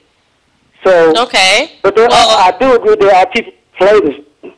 All right, so you're saying that because you you've had a traumatic experience, does that mean that you need to stay down or? No, I'm saying that because you've had a traumatic experience, it may take you longer to get up. But some people it just may. too dismissive. Okay, I'll give you that, but that doesn't. That's not an excuse to stay down. I'm not even ashamed to admit it. I was molested when I was no. eight. For six months, I was molested every single night. Six months. You don't see me blaming men and, and having a victim mentality. Some okay, yeah, and I actually did have to go to counseling and get over it. And I'm still, yes, it still does bother me. But at the same time, I'm not going to sit there and say, because that happened to me, I'm going to stay down forever and I'm going to sit there and turn to just getting into negative activities. That doesn't solve anything. And so I really wish more people would say, I mean, and I don't even want to talk about my own mom, but she had some traumatic experiences. She was abused. Okay, she was abused her whole child, a lot of her childhood. So you can't sit, and she's doing very well for herself. She's already retired, retired military. So you can't just sit there and say that because something bad happened to you in your childhood or something bad, you, you didn't have the most ideal situation growing up, that that means that you need to stay down forever and you just have to adapt this, oh, what was me mentality. My mom even told me the same thing when I was going, getting over my issue, you know? is that you can't you can't allow this whatever it is that happened to you. You gotta have to eventually. You gotta have to. I don't know if you got to go to church or you have to pray or go to counseling, whatever you have to do. But you cannot allow that to keep you down forever. You can't say, "Oh, well, oh, what was me? I'll never be anything," oh, and adopt a victim mentality. Whether it's conditioning, racism, whatever you want to call it, you can. Eh, no matter if you work hard, you can rise out of any situation. So I, I really cannot accept that. I mean, you can believe that if that's what you want to. You have every right. No. All right. No. No, it's not. It's not a belief. It's, it's, it's more for a person from an ideal situation will not probably be at the same place as a person from a traumatic situation in the same lifespan at the same time. That's what I mean. So sometimes when you say people are, um, are playing the victim, I, I do agree. Some people are playing the victim, but I think you know, as far as life goes, it might everybody is not going to be at the same place around the same time because they may have worse experiences than others. But we not. But I have never created a measuring stick to say, well, if this happened to you by this time, you need to be here. I never said that. What I stated was that being a perpetual victim in your mindset and feeling sorry for yourself will keep you uh, not moving along in life. And I gave that example about a car. You be you're a parked car. You're not moving. You're revving up all day long. People hear you, but you're not going anywhere and that's counterproductive to your progress in life. It's counterproductive within the black community when we do that uh, as a community to blame other things uh, that we should just move on past. You know what I'm saying? I'm not saying move past uh, racism, and discrimination, and our history. I'm not saying move on past. But I'm saying don't use it as an excuse to not do anything f- to make our community better. That, that's what I'm saying. I said earlier in the show, get counseling if you need it pray about it, do both, whatever you think you got to do. Uh, take take you a, a, meditation trip. I don't know whatever you got to do, but whatever you have to do, do it so you can move on in your life. Cause life is too short to be victim victimizing yourself in the mind and feeling sorry. You definitely don't need to listen to people who should tell you, well, you need to feel sorry for yourself because this happened to you. That they, they are actually worse to listen to. Mm-hmm. I I do get that too. It's just like one other thing I think of sometimes is, you know, the tw- if there's a victim, there's got to be a victimizer. And sometimes, by telling people to not play the victim, we got we in a in a low key pseudo way condone or excuse the victimizer. Like to a degree, what you were talking about with the uh, the uh, thugs and all that stuff. Mm-hmm it's kind of a funny situation. It's not necessarily a funny situation, but if you got a, a, a thug will be a victimizer who kills or shoots or or, or does something to, to a person who has who's not in that lifestyle. Mm-hmm. But if a person who's not in that lifestyle finds out about that and then goes to victimize the thug, it seems like we st- we flip it around then and then become like, well, you shouldn't be able to do that to that person. Like if if a, if if you shouldn't be a victim and you shouldn't be a victimizer, then what happens when somebody says, "Well, well, well, well, brother, brother, brother, brother, man"? I'm gonna tell you something right now. Anytime an innocent person is gonna confront a thug, it's because that thug is doing something that is dangerous to their life, their health, their property, or something. I've never advocated just to go out there and just start uh, messing with thugs for no reason. I'm saying if they come on your property doing you something, and if you're within a, a state that you can uh, use firearms, light them up. That's what I said. I have no problem saying that. because they Don't do it to innocent people I, all the time. I'm agreeing with you. What I'm saying is we do have one of those type of communities. Like where I grew up at, like, okay, I grew up on the west side of Chicago. You got mm-hmm. gangs who bother people and the community would say some things like, you know, we need to get rid of these thugs.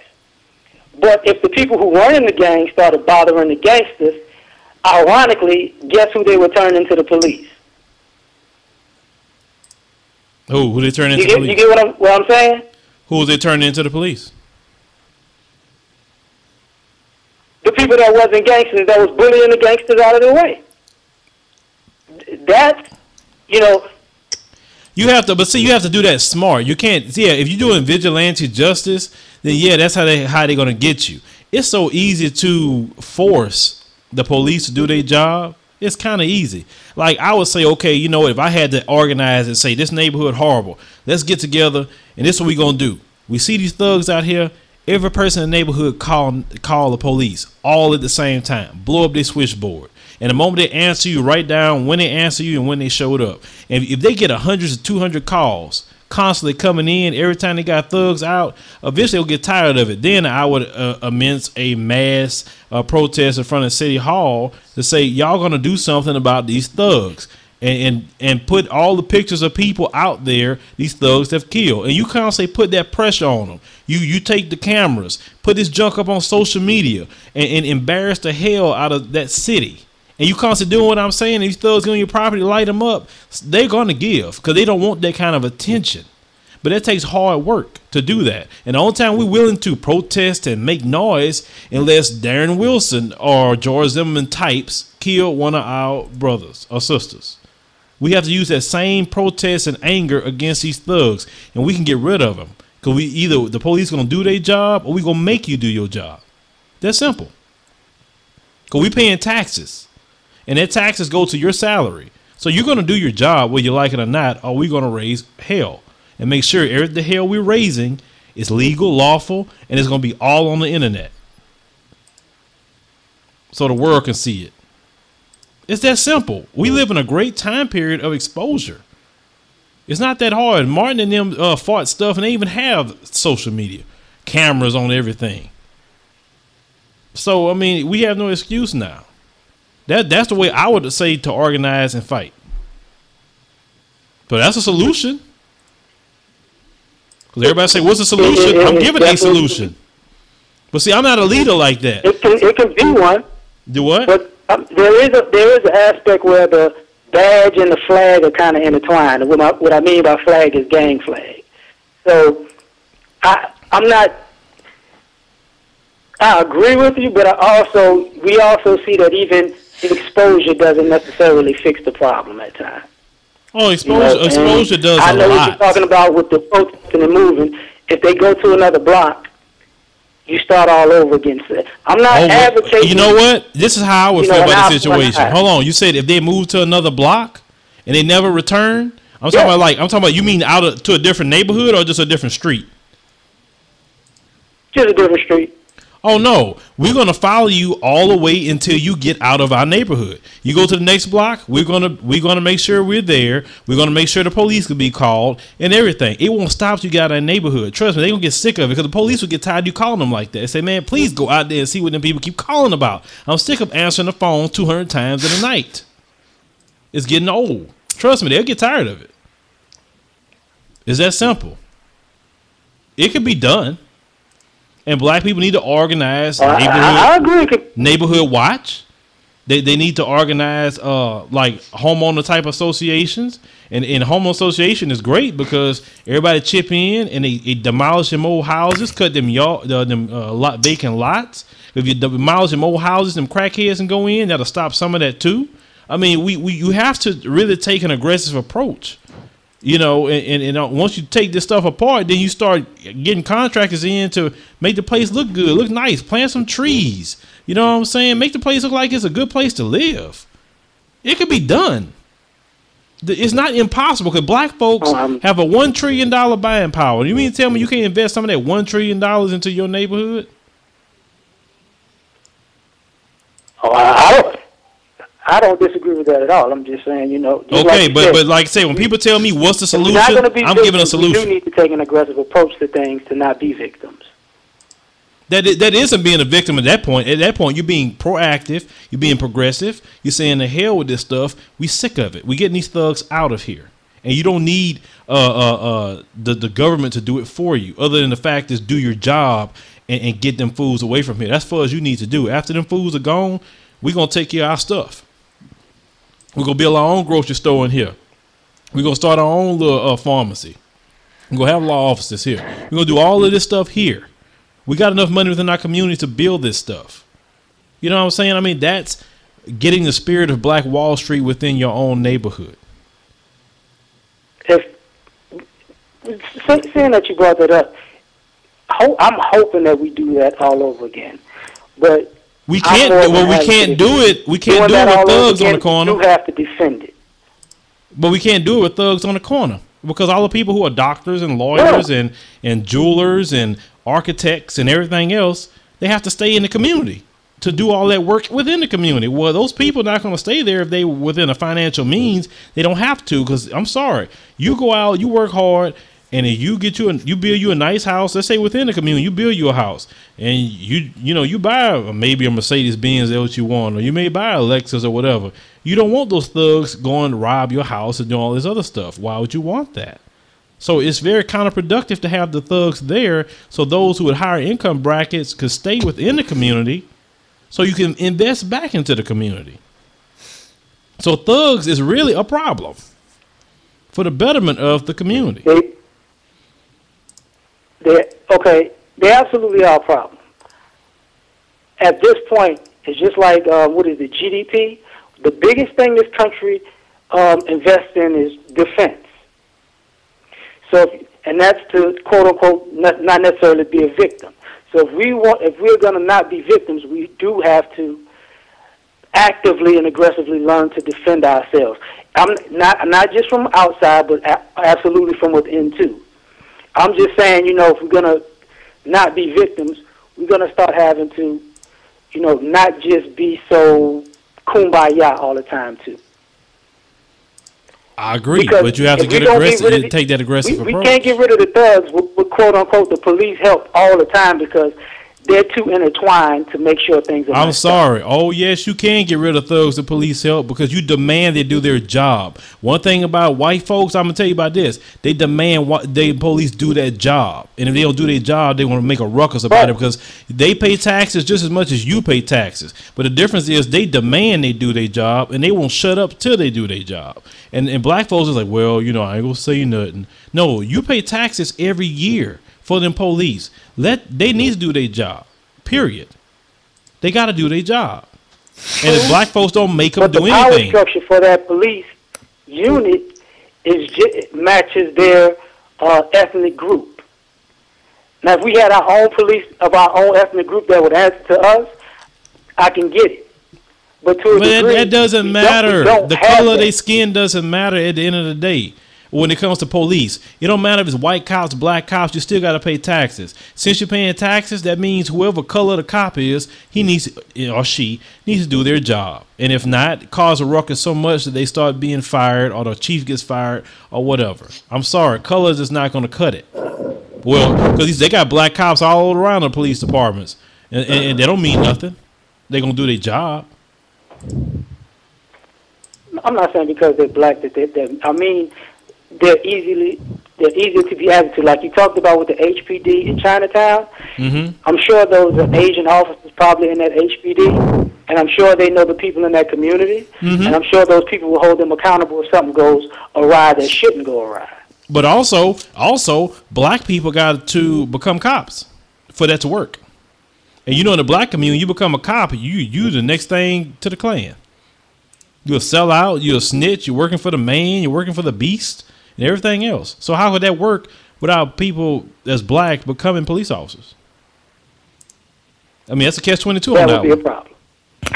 Yeah, exactly. I mean, I, I I don't like cops necessarily, but I don't disrespect black cops at all. I really don't disrespect cops at all, but you know, I know they got it a little bit tougher because they're getting it both ways. They getting it exactly. They get it both ways. I know they do, but what I'm saying is we have to remove that well, if you're a cop, we hate you, you, and all this other stuff for black because black people are like, I don't want to be no cop. I don't want to be hated by my community.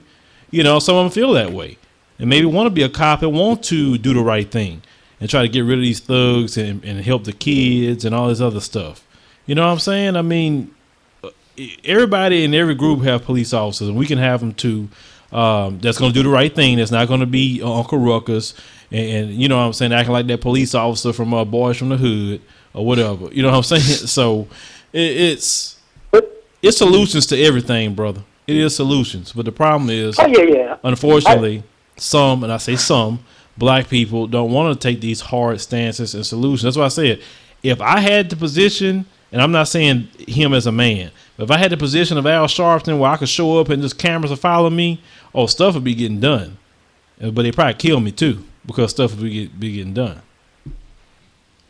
But that's one of the things. Like, okay, what, what the, the fear of that—we're gonna die. We all gonna die. But the fear of not standing for something, only standing so far because you're scared that somebody else is gonna off you, kind of paralyzes. That is part of the victim mentality. Well, that's well, that's a reality. Once you start bucking in this country pretty good, and start, well, I'm gonna say this much: Martin Luther King didn't catch a bullet until Martin Luther King got uh, everybody on board, in which he did. Not just black folks. I'm talking about everybody. That's when they say he was the most dangerous man in the country. I mean, Martin Luther King can command that many people, and not just black folks, blacks, whites, whatever. He was touching everybody. So he had they had to do something to him. When a man get, especially a black man getting that powerful, please. Well, you know technically, it was it was it was more so. He started speaking about economy, and he was linking up with Elijah Muhammad, Malcolm X, and the Black Panthers. That unity was part was a bigger part of that often people. Yeah, but a lot of white people got on board all of those too. Guys died separately, but they were unified during that time. Yeah, but doc, but also a lot of whites got on board with him about pushing for economic. He wanted economic stimulus for the poor, and and everybody was on board with that with, with Dr. King, and that was benefiting. And that's when he was moving to more so like a human rights and just black civil rights. And they they couldn't deal with that. You know how that is. J. Edgar Hoover, he hated people like King uh, Malcolm X. Malcolm X. I think I think if King and Malcolm, I think if uh, Malcolm X and Dr. King would have like joined together like after the fact, you know, man, that'd have been too powerful for him. So I, you know, it's crazy, you know, how something happened to the both of them. At the same time, just because they're dead doesn't mean we can't, as people, link up the same way now. Mm-hmm. Oh, I agree with that 100%. That's but we live in a different time period like I said, we can't feel we're victims. We got to do things the way we do them, which is greater now. We do it through the internet, social media. Uh, we could travel information so quick. We can organize so quick. I mean, people organize for doing flash mobs over the internet. Something that's stupid. We can organize a boycott or organize a protest or whatever. And else. we did, and we need to keep keep doing that. Because remember when people were pro, we protested for Black Friday, and they still they lost about thirteen percent and we need to do it again this year. Yeah. Not even then. We need to actually do something. We need to actually make something happen instead of just sitting there talking. Because if we start boycotting again, that's when stuff's really gonna change. Because that's when they have to listen. The way you heard him, uh, how about instead of boycotting, we just actively find all of the things that are black owned and black made, and just promote those by the time Black Friday hits, and just buy that stuff. They can still the other businesses still take a loss, but our businesses catch a gain. I agree with you, but I think we need America's a capitalistic society. They live and breathe on greed, and I'm telling you, the most effective weapon against when they're treating you bad is a boycott. I'm telling you, and blacks spend a lot of money. Blacks only keep their money in their hands only for six hours on average. We're the biggest spender in America. So if the biggest spender in America um, say, you know what, we're not spending our money with you because you do this, you don't hire us, you don't treat us right, you profile us, whatever, and make it known we're not shopping in your store and stick with it for like a year. Trust me, they be begging black people. What, what we got to do? What do we got to do? Because we never. I tell people as black people, nobody respect us because we don't impose economic sanctions on people, on companies when they do this. Trust me. When I was screaming about boycotts, I had so many uh, people who's not in who has nothing to do with these businesses say, "Why you want to boycott businesses? What do the people do wrong in the businesses that have nothing to do with it?" Like, wait a minute, why is that scaring you? Because I'm saying boycott. It has nothing to do with you. They get afraid when you say when black people say not to spend their own money. That tells me a lot. Trust me, that does. Right. You can scream and yell on the street all day long by protesting. Forget a protest. I wouldn't say protest nothing unless unless just to make a scene so people can see you. But boycott, boycott Walmart, boycott whatever you think that is not right or treating black people bad or disrespecting us. That's all you got to do, and then we'll get our respect. But we, since we do live in this information and technology age, you can still go to Walmart and only buy things made by black people if they have it in the store. Now, if they don't, you can't find, you can't hardly find something made by white people in the store because everything made in China, and that's a problem too. That's a big problem. That's why a lot of us don't have jobs because everything made in China or maybe made in Mexico. Nothing made in USA anymore. You know, back when I was growing up, nobody wanted Chinese anything because it was cheaply made. Now everything is Chinese. But anyway, don't mind. But with that said, brother, I, I let me go ahead and move on. I got to take these other calls. These people get mad at me. So appreciate you. All right, thank you. All right. All right. So you know, we're we're about solutions over here, and I, am I'm, mentioning solutions, not just talking about the problem. And we're not gonna sit there and whine and complain because that, at the end of the day, that whole plane. Okay, let's just say, for example, and we wanted to wanted to humor our audience and say, that everything was the white man's fault and say, oh, woe is me, oh, woe is me, oh, you know, this is the white, we can't do anything, white supremacy, black suppression. We just kept talking about that all night long. At the end of that conversation, nothing will, nothing will come out of that. Nothing. No ideas, no nothing. No, even just something to say, okay, maybe we could do this. You know what I'm saying? Like the boycott of Black Friday, that was great. They lost money. That was awesome. I was definitely on board with it. I can do that again this year. It doesn't bother me none. Because I tell people, you don't need the people to tell you when to shop. You do it whenever you want to, and then this commercialization just to take people's money. No, when these have these companies don't even respect you like that. Uh, let's go ahead and go to the next caller. Uh, Eric code five one three. You on the show? Hello. Hello. You on the show? Hi. Um, I called in earlier, but we uh, we got disconnected. Okay. Um, well, what what you were saying, I, real, I, real, real, quick. Uh, I was the I was the first person he called. Mm-hmm. Okay. Uh, yeah, we got disconnected. I just wanted to say, um, uh, I don't uh, feel uh, that people should feel sorry for, for themselves because uh, I feel that people victimize themselves too much to uh, uh, to keep themselves down because. Wait a minute! Wait a minute! Wait! Wait! Wait! Wait! Wait a minute! Wait a minute! Ms. Gabrielle, is that the first caller? Yeah, he just he, that's what he said.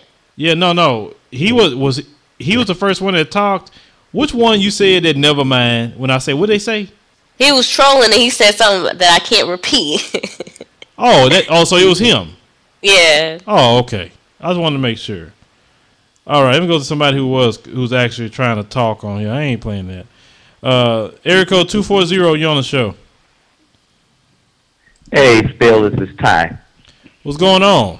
Hey, um, not much. I just got off from work and um, just made the show. But I came in actually. I want to talk about the victim thing, and I want to talk about why I believe that you know that's such a prevalent thing, and what I think needs to happen to get that to go away. Uh, but before that, I know one interesting thing that people uh, like to reference a lot, and I just think it's um, pretty interesting is um, when people talk about the church and how it's become more of a show uh, for entertainment than has about worship and other different things. Mm-hmm. Um, the interesting thing about that that I've always found is is that prior to the early 20s, the church was not like that. And if you remember anything about 1921 up to 1938, that was a hard period for black people. In the middle of that, you had the Depression in 29, you had Black Wall Street in 21, and 38 was when the labor laws came into effect for minimum wage, which, if you remember, you had right after Black Wall Street, a bunch of African Americans were journeying up north for like the third or fourth time to get jobs because all their jobs had been destroyed in the South. And so that's when um, the union in the North decided they were going to push for minimum wage because the blacks could work for cheaper than they ever could, and they were taking all the jobs. So it was hard to get young people into the church participating. And it was during that time you had um, this really famous group, a couple of famous groups, um, the Ward Singers and all these other people orchestrated a new format for how the black churches would do the service. And they started putting in the switch formats and all these different things into the sermons where you have, you know, instead of having song and sermon, it would be, you know, the organ and all this stuff while mm-hmm. the pastor's preaching. It was became more of a show. What they were trying to do was save the church because the church was not making any money. The churches weren't making any money. A lot of them had been bombed and burned up, and it was it was hard to rebuild. And when the people, we say the people didn't have any money, but all of a sudden when things got entertaining, they came together and pooled money together.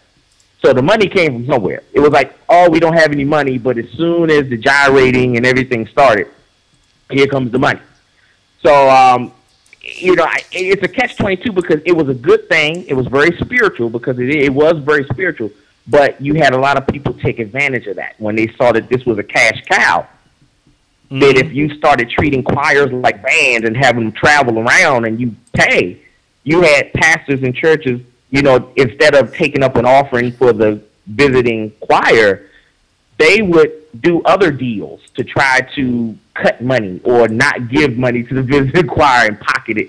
So the corruption always starts wherever there's an economy, wherever there's money, there's always going to be somebody corrupt that'll want to take advantage. But um, the interesting thing about us as a community is is that the the thing that we love the most is the thing that's killing us the most. Mm-hmm. Unfortunately, the victim mentality for many people is all they got. that is all they got. And I know it sounds bad, but you know, if you look at all of your well, not all, but if you look at a lot of your famous musicians and and, and actors and different things, there has been a role that has been designed for a lot of black people, particularly black men. They have to play this part. They have to be this caricature.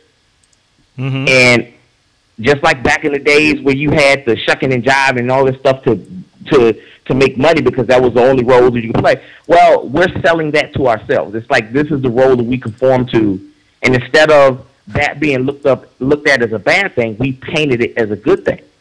You know, um, during that time, the 20s up to you know to the just before the 50s, it was hard to get young people to get involved in things because they saw all of the you know the corruption in America. They were not from their grandparents' time with the slave fields and all that stuff, so they couldn't get a picture of how good they had it or how much things have changed. They just knew they were suffering right then. Mm-hmm. So every generation has it. It's a further falling away because and the generation gap gets wider. But now we have a new problem, and we've had it for a couple of decades now. It's a gender gap. Our young black men, although they're more educated now than they ever were, and there's not as many of them in jail as, as they were in proportion to school anymore, like in the 90s, they're trailing behind the women significantly. 2010 was a big year for black women in in um, in our country's education system because more black women graduated from college in 2010 than ever before. Mm-hmm. And yeah, black, yeah, black women doing it on them degrees. I give them that. They they getting more master's degrees huh? and doctor's degrees. Black women are really actually by doing the research, black women is the most educated uh, group in America. Is black women. Mm-hmm. Exactly, exactly. But but so they, but. Uh, the thing about the difference between the black woman and the and the man is is or the the, the guys and the and the females is the females have always, whether they wanted to or not, been pushed. They didn't really get a choice. Think about it. You know, if you're the one that's going to end up taking care of the baby, you're the one that's going to have to make the home, you're the one, you can't sleep. You don't really get a choice. It's yeah. either you make something out of your life, however small or great it may be, or you die. Plain and simple. Mm. The young men, they don't have that same push anymore. There's just excuses. Everybody's creating this world for them where if they don't make it or they fail, you know, it's oh, it's the system. Oh, it's this. Oh, there's always something. You blame your mama if you don't have everybody else to blame. you know, there's always somebody for them to blame. And yeah, unfortunately, well, me, we have let me started coddling them. Let me interject something for a minute. You was talking about the education of black women. I did the uh, research on uh, the demographics on you know based on who's the most educated in numbers or whatever. And if you look at, you know, like black women being the most educated, and then after them would be Asian women, um, and then white women come in number mm-hmm. three. But yet, now this is when racism and discrimination comes in. This is true racism discrimination I'm talking about. Uh, when it comes to hiring practices, you don't see most of your HR departments, most of your uh, administrative assistants, administrative managers, and all this other stuff be black women based on education standards. It should be mostly them, but or after them, it should be mostly Asian women. But based on education, you don't see that. You see more still white women, and that's where the racism aspect come in uh, with the hiring practices. Now, I have no issue discussing that aspect of it because that's some true stuff right there. What I'm talking about. How is it you going to have one group of women the most educated, but yet the third uh, group of women who's not there where the number one's at, yet they holding most of the jobs, no matter where you go. I mean, high paying yeah. jobs. That, that that is that is a very real thing. Um, one thing that I noticed about that is, and it's sad. Um, if you ever notice, okay, if I take water, I think I said this before once to, to somebody else earlier today. If I take water, right, and I put it in a thimble, right, and I take a a, a drop, an eyedropper, and I drop lemon juice into that thimble, that whole thimble of water is going to come become lemonade.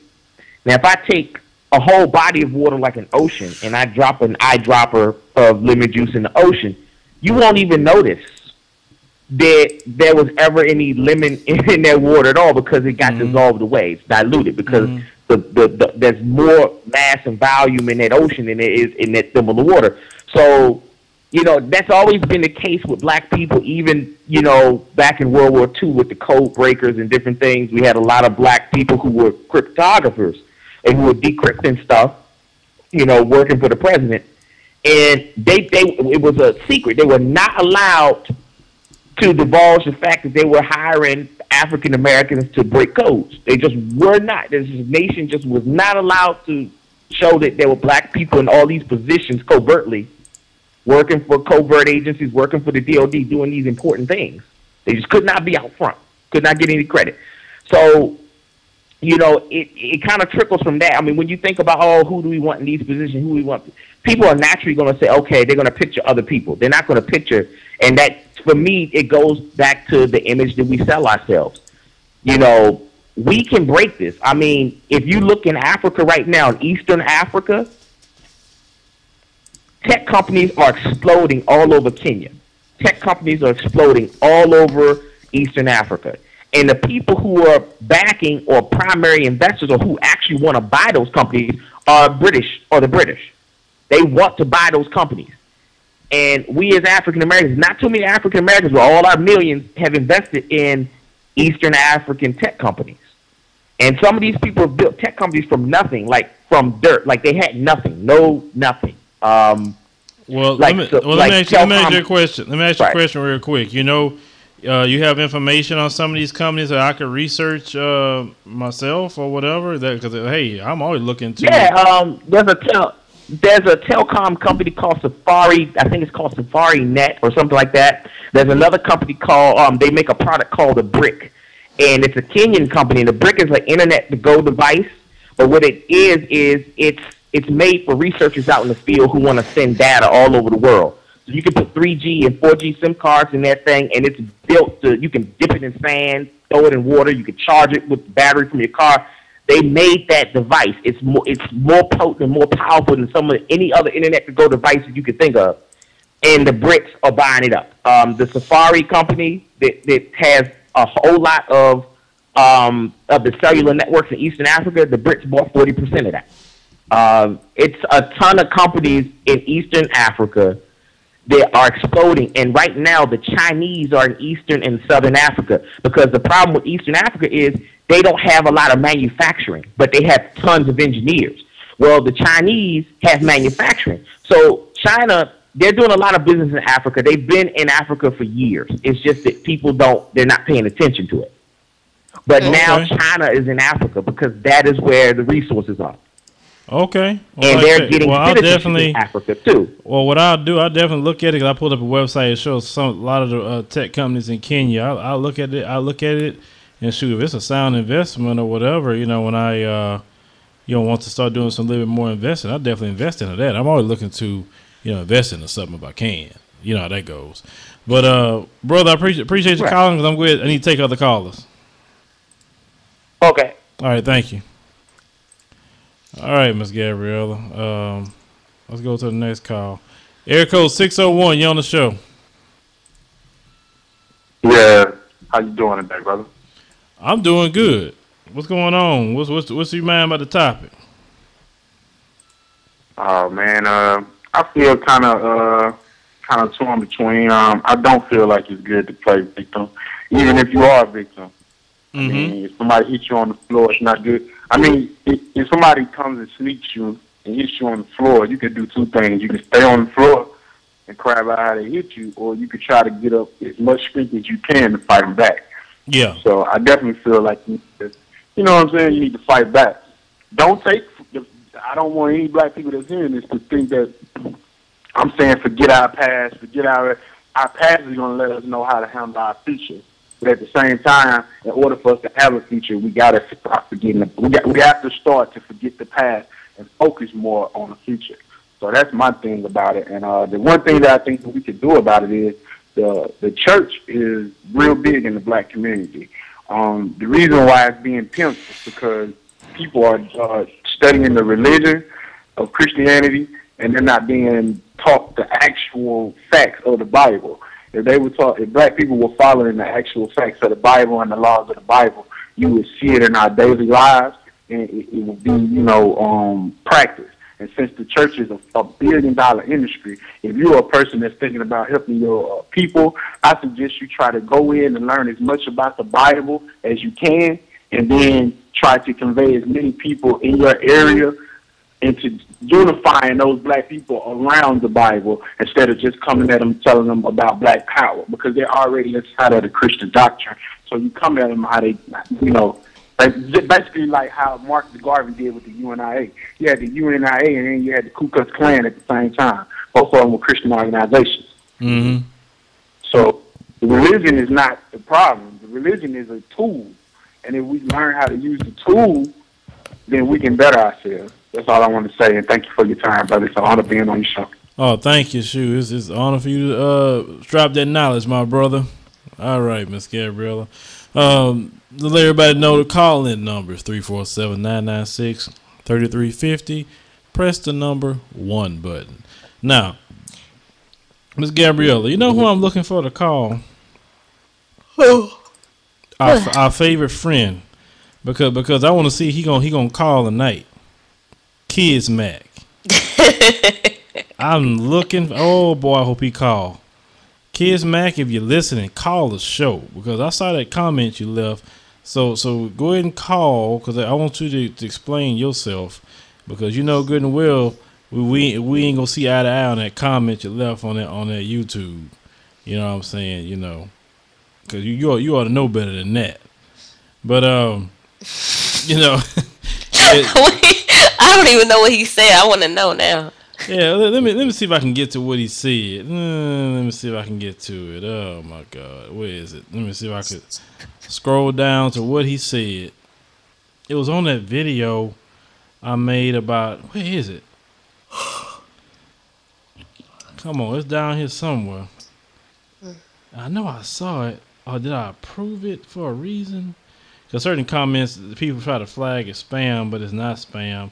But it's it's on my. Uh, hold on, let me go. Let me go to to the uh, thing here, if I can find it, and I can read it. What exactly what he said, so everybody know why I want to talk to Kids Mac tonight.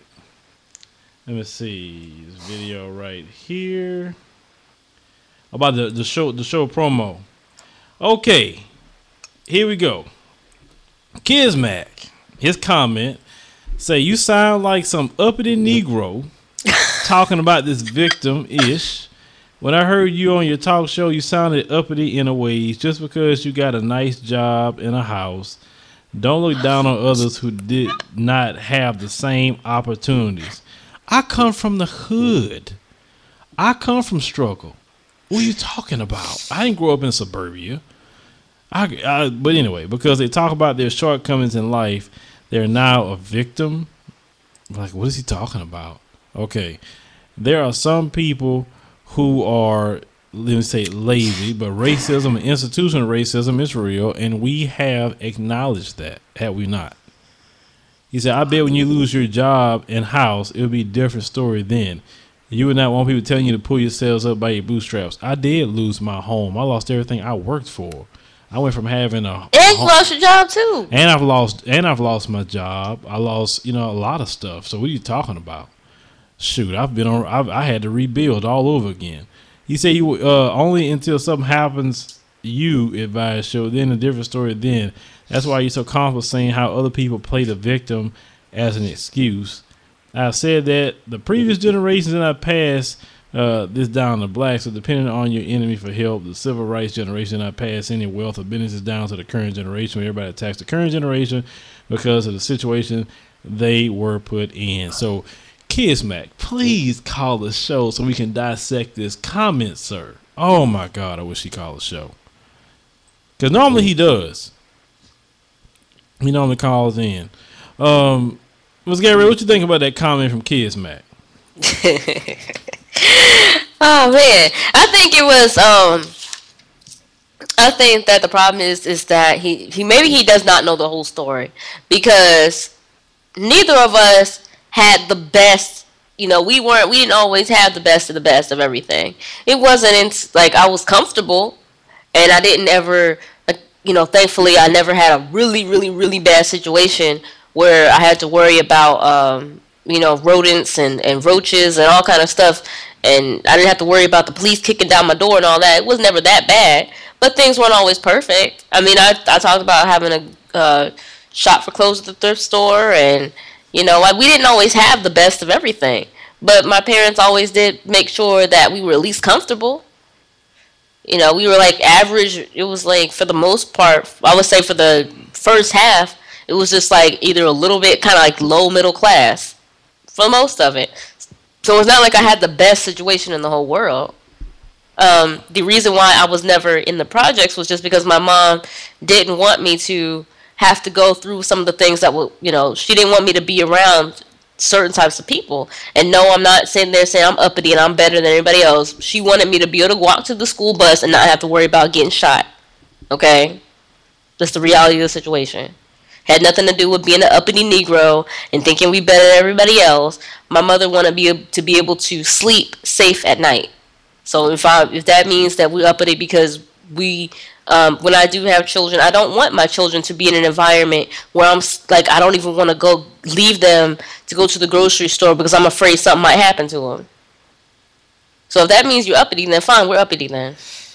All right, I'll well, take that. Then. Well, I'll, I'll be know, uppity Negro. Well, you know, I've never once felt I'm better than anybody. I, that's why I always say, even what I do, and people tell me, "Oh, you doing this online?" and I say, "I am on a chitlin circuit because I ain't better than nobody." That's first and foremost. But you know, it's kind of like what the old thing Janet Jackson said. She said, uh, "What? How did she put that? I don't think I'm all that. You think I'm all that." You know, so I don't think I'm uppity. You think, uh, you know what I'm saying? I don't think that you think that. So it, it has nothing to do. Your perception of me is not facts. That goes for really anybody. Um, so when I say we should have some sort of standard, uh, that we should not play the victim because it doesn't get you anywhere. Because, like I said, I've been there in my life. It don't get you anywhere. You know what I'm saying? And who and he said talking about a job, house, whatever. Nobody know how I live because I don't really say how I live. You know what I'm saying? And it has no bearing on my the message that I'm speaking. But I'm talking about what really works um, in life. And playing the victim does not work. It doesn't get you anywhere. And you know the bad thing is when you play the victim long enough, and you realize that man, I wasted all this time in my life with doing this crap. I could have been doing something productive. You know what I'm saying? Instead of focusing on the wrong thing. And I tell people, yeah, they want to use racism discrimination. The thing is, if somebody's racist towards you or discriminate towards you, go somewhere where they like you. Because not everybody hates you. That's just first and foremost. I mean, we, we just, I just don't like that too much. People blaming everything um, on victimization or you're an uppity Negro for telling other black people to stop it and start focusing on progress. Mm-hmm. You know, I just that just amazes me. Let me see. You're a coon when you say uh, Whitey isn't making the thugs shoot, and then you're uppity if you say you are not It won't. Well, let me see. You can't use racism to victimize yourself and not progress. So you like you can't win for losing. I mean, it's it's, yeah. it's, it's, it's sad because I don't think some black people want to hear is you talk about racist police, and it goes back to racism, or you a victim of slavery, you a victim of I'm sorry, post traumatic slave syndrome. That one in itself is just really you know, I'm sorry. I feel former slaves would be the ones that should suffer post traumatic slave syndrome or disorder. I mean, I'm just I'm just saying, you know, like yeah, certain teachings from slavery but it's black people's fault actually. Why it's still inside our group, like the colorism thing. We mm-hmm. decided to keep that going. We could have rejected colorism. It, once we got off of the plantation, we could have rejected that. But you know, unfortunately, it's like we still to this day uh, deal with colorism, and color colorism is a real thing in our community. Why is it that we can't reject that? I mean, at the end of the day, we all black. Exactly. You can ask any black person. I mean, plenty of people have said they've asked their white friends, you know, who's darker, him or her. They'll just be like, uh, I don't know. You, you guys all look black to me. I can't tell.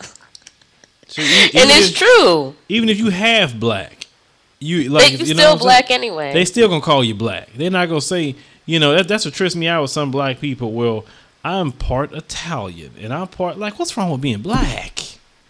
you want to call yourself everything in a book, but you can't say you're black. You know, it, it's it, it, just that's what I'm saying. You know, some of the problem with, with black people, unfortunately, too, is that they have an immense hatred for for black people. You know, I feel that they have some hatred for black people worse at times than the Ku Klux Klan. You get what I'm saying? because when you hate a black man so much or you don't view black people's lives uh, don't really matter much that's why i was saying that and some people got pissed off that black lives only matter when a white racist kill you mm-hmm. because it don't matter when somebody steps on your jordans and you're ready to kill them because he steps on your tennis shoes that nike's going to release probably now they're dropping new ones every month every month they're dropping some new shoe.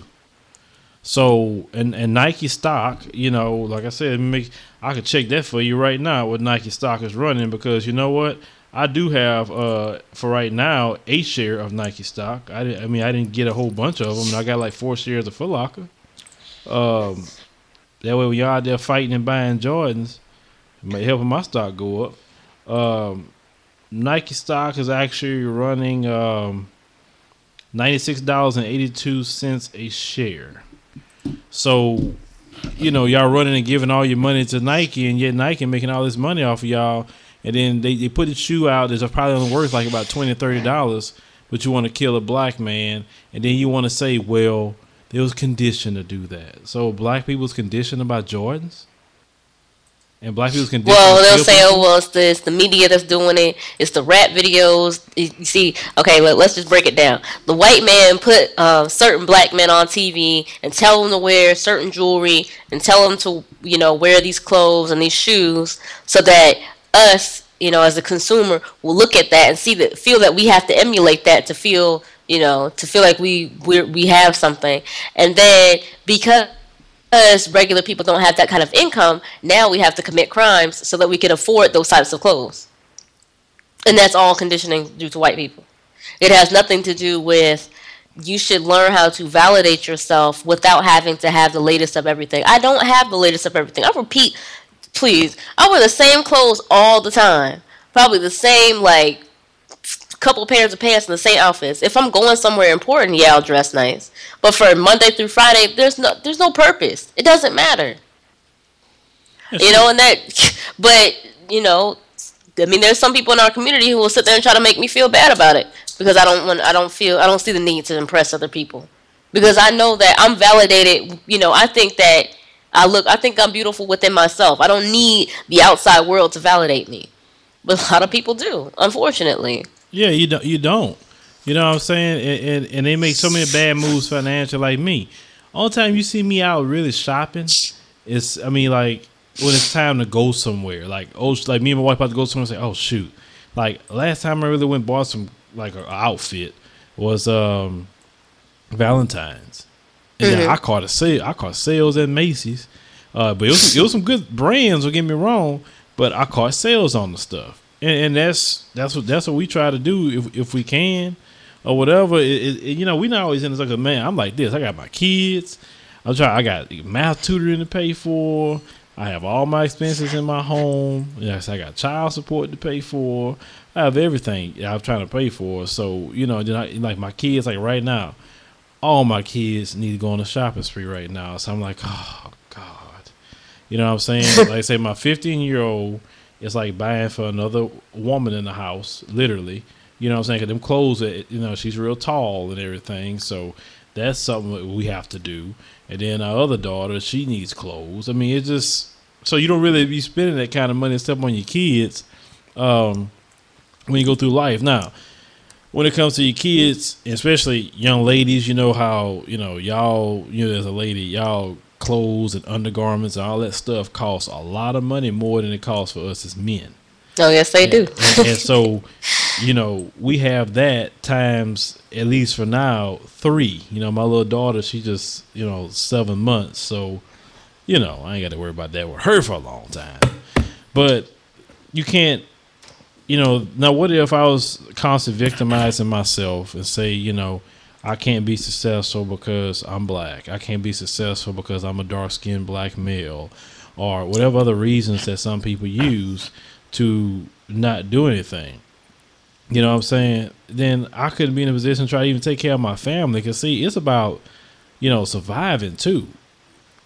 I mean, don't you don't you want to live right? I mean, a lot of people don't even go on vacation, you know, at all. Mm-hmm. Don't go on vacation. And, and I'm not saying you got to go somewhere like and just, you know, I don't know why some people think a vacation is a place to spend, or five or ten grand. But how you gonna do that if you victimize? You think you're a victim so much that you can't progress. Like some black people feel certain jobs. Well, well, you know, white people do that. What is like, man? You go where that money's at. Mm-hmm. You know, I mean, I, I, I don't get that. I mean, like, like for instance, nursing right now is is a job that's even like, especially around here in Houston, they giving sign on bonuses to nurses as becoming RNs. Like that is a hot field right now for any. Oh yeah, it is. A lot of I know a lot of girls are doing that right now, becoming RNs. Matter of fact, my sister in law, she just passed her uh, test. You know, she's about to, you know, get her RN status. I mean, she was working uh, as an LVN, but now she's going to be RN. So she she doing great. You know what I'm saying? And she didn't come from uh, a silver spoon in her mouth. I mean, like my wife's family, they they was poor too. A lot of kids or whatever. And you know, they didn't make excuses and say, "Well, you know, we poor people, so we, you know, uh, my parents didn't send us to college. They paid for their own colleges, you know, because the parents really couldn't afford to at the time. Uh, they they took care of themselves and they did it, you know. So we all come from a spot that we can all use for an excuse to uh, for our failures. And too many people do that by playing the victim. So uh, we got what 51 minutes left in the show. Um, yeah, 51 minutes, Miss Gabrielle. So 347 996 50 Make sure you press the one button if you want to get in. I I hope. I, ooh, I wish I knew Kids Mac's phone number. I, I probably would call Kids Mac myself uh, and tell him, explain yourself, brother. Eric code 405, you on the show. Hello? Hello? Hello?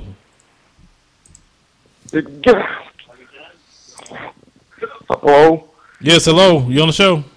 Can you, can you hear me, Phil? I can hear you good. Oh, hey, I wanted to talk to you about something. You want to help me? I wanted to talk with you. Okay, like, go ahead. I started at the, hello? Oh, Hi. Free? I wanted to call you about something. I, had, I wanted to ask you a few off-topic questions. Okay. Okay, ask away. Bill? Ask All right, we're here. We're listening. Like, mm, like I had an opinion on that guy. You know, you know that top guy. Opinion on like, what? I'm I'm kind of, I'm kind of nervous here, Phil. Kind of like a ball of nerves. Good thing I'm not made of glass, or I would shake myself to pieces. Don't be nervous. There's no celebrities on this line. There's nothing to be nervous for. Like, I was wondering, what if instead of that innocent guy that cop choked out, like, that cop choked out a bad person on the street while everyone watches? If what on the Ms. Gabriel, what did he say? Okay, he said he said, what if instead of an innocent man being choked out on the street, what if it was a, a bad person being choked out by a cop and everybody watched? Would that be okay? Basically.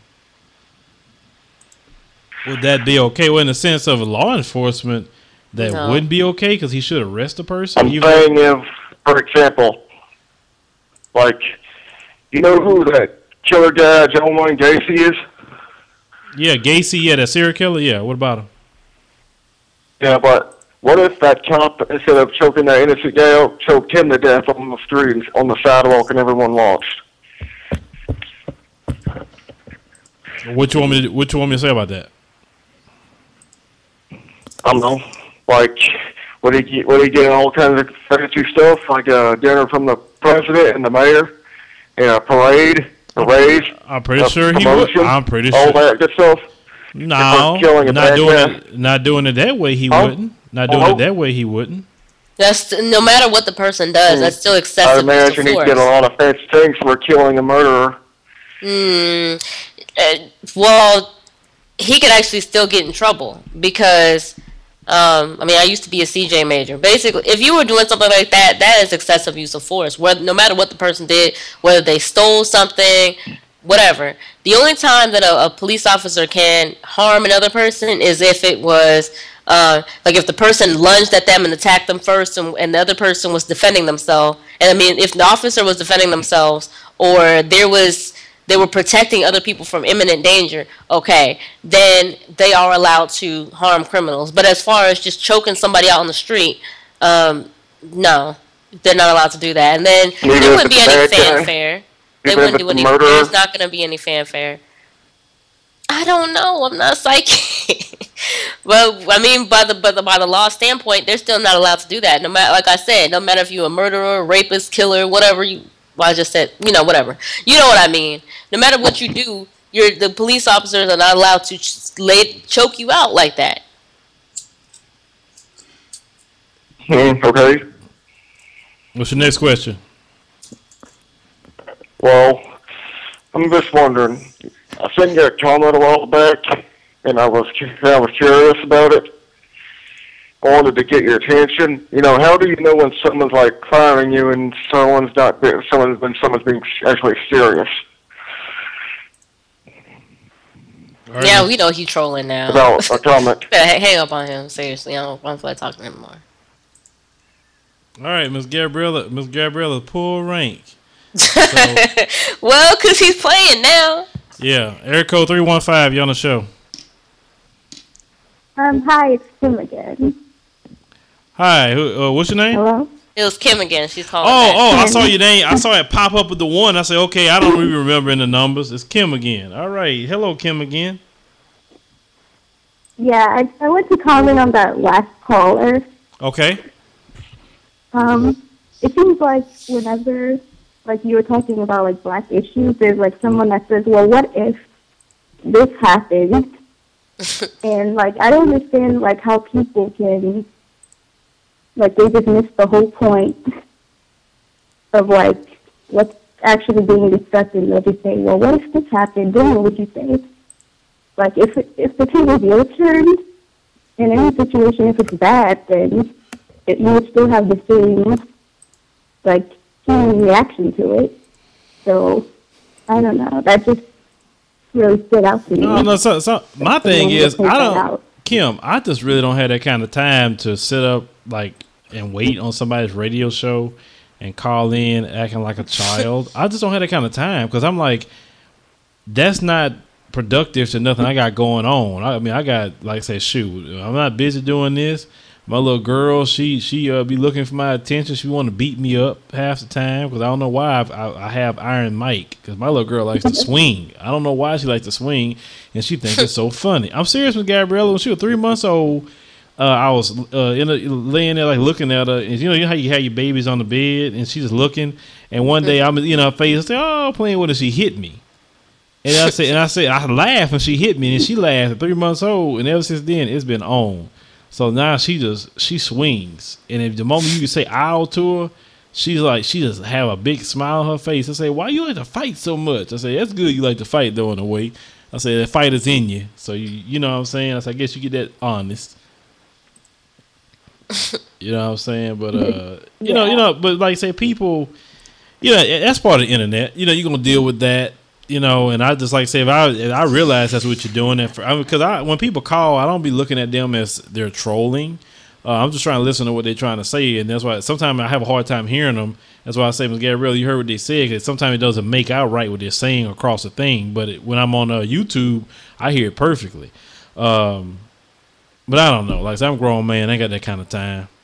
You know what I'm saying? I couldn't see it honestly. Like you said, I can't sit there for how long has it been? Like two hours, sitting there waiting on the line for for two hours just so you can sit there and troll. Or like that other person, the first caller, they were sitting there like before the show even started. They were on there. Actually, they were. Wait, they, they weren't. Were. They were no, and then check okay. and check this out. And then when I post it to YouTube, there they'll be in the comment section. I trolled. That was me calling at this timestamp. I'm like, oh my god, like really? Your life must be like, pretty boring. Yeah, you and really that's, suck. That's all you got to look forward to is it's trolling like, it's like man, it's like get you a female or something. Like what's wrong with you? And you mm-hmm. notice, and you think about it. Most of the patrols I've ever dealt with, it's been guys you could tell they're lame. They can't get no females because a guy with a woman would not even be wasting time trying to call somebody's show to act stupid. You're like, you're like, man, I'm going to work. I'm going with my girl. I'm going to do this. I'm going to do that. I ain't got that kind of time because I'm a grown man. So every time one of you guys trolling, you telling on yourself that you have no girlfriend. I mean, I guess your girlfriend is the bottle of Jergens. Shit. I guess so. I mean, because that's all they got to do. Because, like I said, if he had a girlfriend or some woman he fooling with, he wouldn't have time to call me. He's not. at least not on that. You gonna spend your you gonna spend your weeknight calling another man. oh, that's kind of sad. It really is. Yeah, it, it is, but it's funny. But that's part of the internet, though. I guess it doesn't make it uh, boring because you have people trolling and whatever. But like I said, the topics that we talk about are important topics, and you know that they, they just they always got to do that. You know, so it's it's no big deal. Actually, Miss Gabrielle, we ain't dealt with no trolls in a while though. Mhm. We haven't.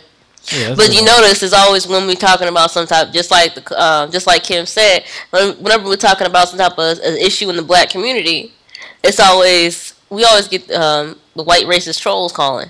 Mm-hmm. Always trying to throw salt in the game, trying to you know, try to get us off the right path. Yeah, yeah. I mean, it, it's it's true. You know what I'm saying? And uh, but doggone it, where's Kiss Mac? and then when he calls, yeah, but that's all I wanted to say. yeah. Oh, okay. Well, like you said, um, where's Kiss Mac? Oh my God, I don't see him. But yeah, they, you know, they say they have nothing to do with themselves. You know what I'm saying? So we we just we just keep it moving and make it. You know, we all know races are mentally slow. We know that. We have established that many times. So we just got to do what we do, Miss Gabriella. Mhm. I'm having fun yeah, though. It's not bothering me. all the time, but seems like it's happening a lot today for some reason. You say you having fun? No, I'm having. Well, she was saying that she she watched the show all the time and that um it just seems like today that they're really doing it. But I'm having fun with it. It's not hurting my feelings. Oh no, no, I have fun with it too. You know, at times I've played, I play along with them. You know what I'm saying? Just to have fun. I mean, why not? I mean, shoot. I mean, they, they take the time to call, but you know, I guess if I'm not in the mood at the time to, to play with them, then I won't. But you know, yeah, I'm getting a headache. I, I'm not in the mood to be playing right now. but that's on, you know, You ain't got you ain't got no you, night, you, go you ahead. Have no, you don't have no Advil, Miss Gabriella. I don't. I don't feel like getting up. Shoot, you know you know what you know what worked good for them headaches though. Um, that Advil liquid gels they work good, and I and the pharmacist told me the liquid gels work better because uh they dissolve faster mm-hmm. than, than other pills. So yeah, if I have a headache, I take that.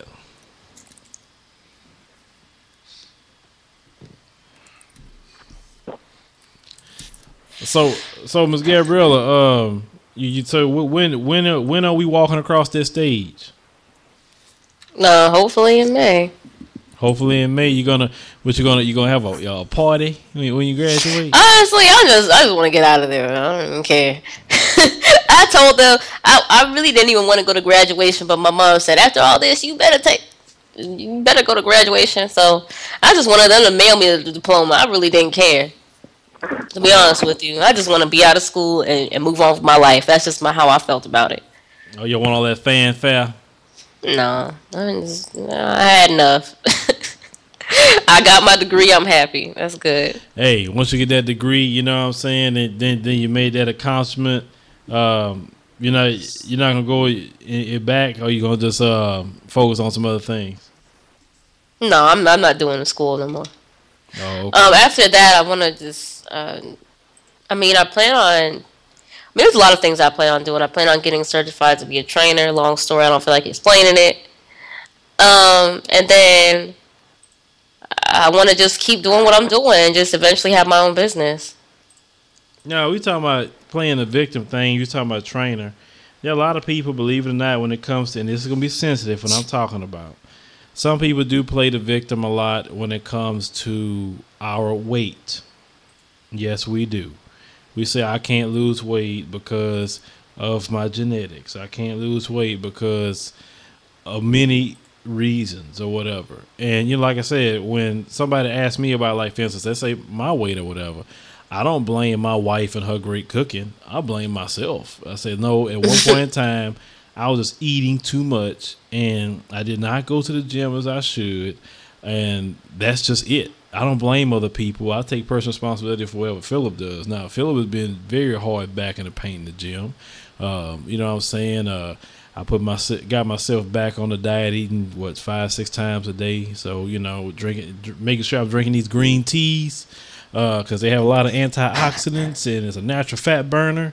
And I read something um, about why I started drinking hot teas is because they had a, a thing about how Asian people, shout out to Asians, uh, they drink hot teas when they eat their uh, foods, and they were saying that the hot tea, if it have any fat in the food, it actually makes the fat pass through instead of um, actually sticking to the you know lining of your stomach when you collect fat.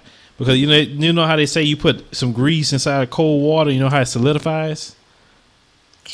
Well, there's some fat Asians though. Don't don't sit there and just think that you can eat no, whatever you want well, and drink no, a lot of tea well, and be good. Course, well, there's a lot of fat Asians. I've seen it. Okay, Miss Gabrielle, yes. If you eat the American diet full of fast food and processed food, anybody can gain weight, no matter what race. But we're talking Don't about, talk about Asians in Asia. As I'm saying, because oh, I've seen it. Oh well, yeah, I'm pretty sure. But I what mean, I'm saying, but we ta- we talking now. about it just a common practice within their culture. You mm-hmm. know, because mm-hmm. uh, at least when I was growing up, things have changed now because there's a McDonald's on every corner. Uh, you know, so like I said, some people don't want to take responsibility for that, and they want to, you know, feel. And I don't know with situations with weight, you do feel bad, you know, because like, dog, you don't like what you see in the mirror, or you may look at some old pictures you had. You may have some of the old clothes in there and you can't really feel sorry for yourself a lot when it comes to the situation with weight. Yes, you can. I mean, and even men. Yes, men feel bad about their weight too. Um, just not just women, because you think we don't want to walk around with wife beaters and look certain ways at times. Not saying that's a uniform you should walk in, uh, but you know, go to the beach or whatever. Um, you know, you want to take your shirt off or whatever. You don't want to be like feel embarrassed. So men do go through secret issues about their weight that is probably not to broadcast. Mm-hmm. But you always hear about women dealing with uh, weight issues, and you know you you can't feel sorry for yourself too, and and then sometimes that feeling sorry for yourself and uh, can make you eat more. Mm-hmm. I'll even say from experience because you saw. I don't know if you saw my before and after pictures. I used to be overweight, and I'm still trying to lose weight. And it's something that you. I mean, it's a lifelong thing. Mm-hmm. It's not like you just work out and then you lose all the weight, and then you don't have to ever work out again, and you can eat whatever you want. It's it's a um, it's something you have to deal with all your whole life. Exactly. Uh, I mean, I I was getting to the point where I was having to. Uh, I almost was gonna have to take high blood pressure medicine, and I was young. Yeah, I mean, and and, so, and, and that's and you know like I've never taken that kind of medication in my life, and then when I had gained you know that weight, um, you know the doctor suggested that I go on that, and I'm like, what? And um, so the doctor said, well, if you lose the weight, I probably can just take you back off the medication. You know, sometimes you look at your blood pressure, whatever, while you, while you're not on the medication, and then you see where you're at. And like at one point in time, my blood pressure was like like 152, you know, over 79, 80, somewhere around there. You know, and I checked my blood pressure today, and I was like 141 over 80 and that's good before I took my, you know way before I took my medication, and I do credit to some of that dropping uh, due to diet change, uh, working out, you know, getting up in the morning, you know, doing the weights, doing the um, you know, I like try to get on the stairmaster. You know, that's what I like the most. If I'm gonna try to, you know, lose weight, try to get on that about 25 minutes or so. Uh, you do the stairmaster, Miss Gabriella? No, I don't. Yeah, I try. I try to do that one because that's the one I notice I sweat the most. More than that, maybe. I mean, I do it sometimes. Never mind, scratch that. Yeah. But I mean, I do a bunch of different things. I don't. I try not to do the same thing all the time. Mm-hmm. It just. I think it depends on what your goals are and what you're trying to do. Um, but yeah, I mean, a lot of it is personal responsibility because I hate when people say, "Oh, it's genetics." oh, you know, oh, everybody with my family was fat, so I gotta be fat too. And oh, I don't know how to cook healthy foods. We better learn. We got the internet. We have the internet. You know what I'm saying? No, if we live in the most, probably one of the best time periods in the world, just like you said earlier. We live in a, in a time period where you can, anything you want to know, anything mm-hmm. in the mm-hmm. world, you can go and look it up on YouTube. Mm-hmm. I mean, I can learn how to build a rocket ship in my bedroom if I wanted to. I mean, that's the kind of time period we live in right now. So I'm not gonna sit there and make excuses. And as far as weight, you eat everything that you put in your mouth, so you can't blame anybody else for but yourself. Um, I, I, mean, I can understand if you were a child and you're and you may have some issues with your weight because your parents don't cook healthy foods or something like that. But even then, you can still exercise. What's stopping you from doing push-ups and sit-ups and stuff? Well, the hardest thing about exercise, I'll tell you about it is, if you can do it consistently, at least two weeks, at least two, you can get in that routine. It's like that first week is so hard with it, especially when you change a diet like that and try to start eating right, because um, like your boy, your body be craving you be craving that sugar, craving all the more Please. bad. I don't even do that. I don't even do that. I eat what I want. Um, I, w- I mean, if you, yeah, it depends much, on who you are. I mean, I I did it gradually though, because what happened? Because if you try to do a crash diet, like you try to completely do a 100% overhaul your diet right Cold away, turkey. it's gonna be hard for you to fall. You're gonna fall off. Well, you know, I don't know. I guess I've always been the type of person like I can't gradually do anything because I do nothing. So I either have to go uh, all in cold turkey or eat all the bad foods. So, mm. so like for me, you know, I say, well, I don't really have a taste of sweets right now. Thank God I don't. So you know, like I say, today my wife had made some uh, this thing they call like a, a chicken chili. It's like a broth, and it has uh, you know rotisserie chicken in it, uh, white beans, uh, just a bunch of different vegetables in it. You know, I had like a bowl of that, uh, which is real good, and also gets you your protein for the day. You know, just like we have small bowls, so that's good for portion control. Uh, but you know, for a lot of it with me too, it's not just my health, but shoot, I look at my I look at the same guy you guys look at on this camera. Sometimes I'm like, my God, I really need to trim down. I say, I'm sorry. I, am more critical of myself than anybody. I'm like, I look at my video and say, why did I do it that way? Why did I say it that way? And it could look better this way. And then if the light was that way, I'm highly, I guess what you want to call perfectionist about things. You know, mm-hmm. I don't know. You go through that, Miss Gabrielle, and you do your videos? Oh, I do all the time. I don't even like looking at my own videos after I put them up. Cause I don't like looking at myself. I don't know why. I don't know why. Because you when you because people that don't make videos wouldn't understand. But after you, if you go back and you look at the video, you're sitting there thinking, why do I like? You just be you be breaking little things apart. Like, why do I sound like that? I use the word like too much. I use this word too much. Oh, I, I wish I didn't make that sound. Or you'll just be sitting there like breaking yourself apart. So I just try not to even do it at all. But I mean, I may watch it later just during the editing process. But after that, after I post it up, that's it. I don't I really. It's rare that I go back and look at it after that. Yeah, you know, it's like for a long time, it took me a minute just to even hear my own voice across YouTube because I was like, my God, I sound country. I mean, I like, oh my I mean, god. my voice is high pitched, squeaky, and annoying, but I just, but some people seem to enjoy it. So you just, it don't bother me because what you don't like, somebody else will. Yeah, it's like sometimes I if somebody asks me, say, "What you do?" and I tell them, then then I, I kind of show them but uh, videos here and there, but I don't want to show them like 15 seconds of it, something like that, because I just don't want to hear. Because like you got somebody watching you do that, and then you know you're standing there with them. It's like you get kind of, at least for me, that's how I get kind of like, all right, all right, you know, check it out in your own time. I just don't want to hear myself. Yeah, I do that too. Yeah, that I understand.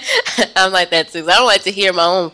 I don't like to hear my own voice, especially when other people are watching it like a lot of my family members like some of them have they know about my youtube channel and stuff but i don't want them to watch it in front of me. You know it's like just don't.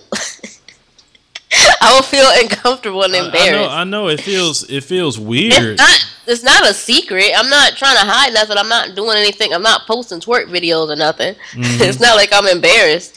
But you know, I just don't like to hear. About, I don't like. Uh, I don't know. I don't want to sit there and have my phone out and have you watching my video. I don't. I wouldn't feel comfortable with that. Yeah, I I know. I I, I hear you. Um, I I feel the same exact way that you do. Now, um, I think come. I think Friday. Start well Friday, and then the Friday after that. I don't know if anybody has seen uh, the video me and uh, Steve Williams posted the uh, maybe last Friday or so. Um, well, we're gonna have two more videos coming. Well, but I'm gonna only post them on Friday just to see how that work. If if y'all like a series that me and him uh, doing videos together, um, as I as I stated before, you know the brothers, you know from around here, so I'm trying to support other brothers, and uh, I think he's a you know he's a good fit you know what I'm saying? Not not saying he's trying to join what we got going on, but it just I, I think we complement very well. You know, I mean, did you watch the video, Miss Gabrielle, the one I'm talking about? Uh, I haven't gotten a chance to. Okay, well, the people have. I got you know, I like I told him, I'll put the video up, and I look at the comments. That's how I do everything.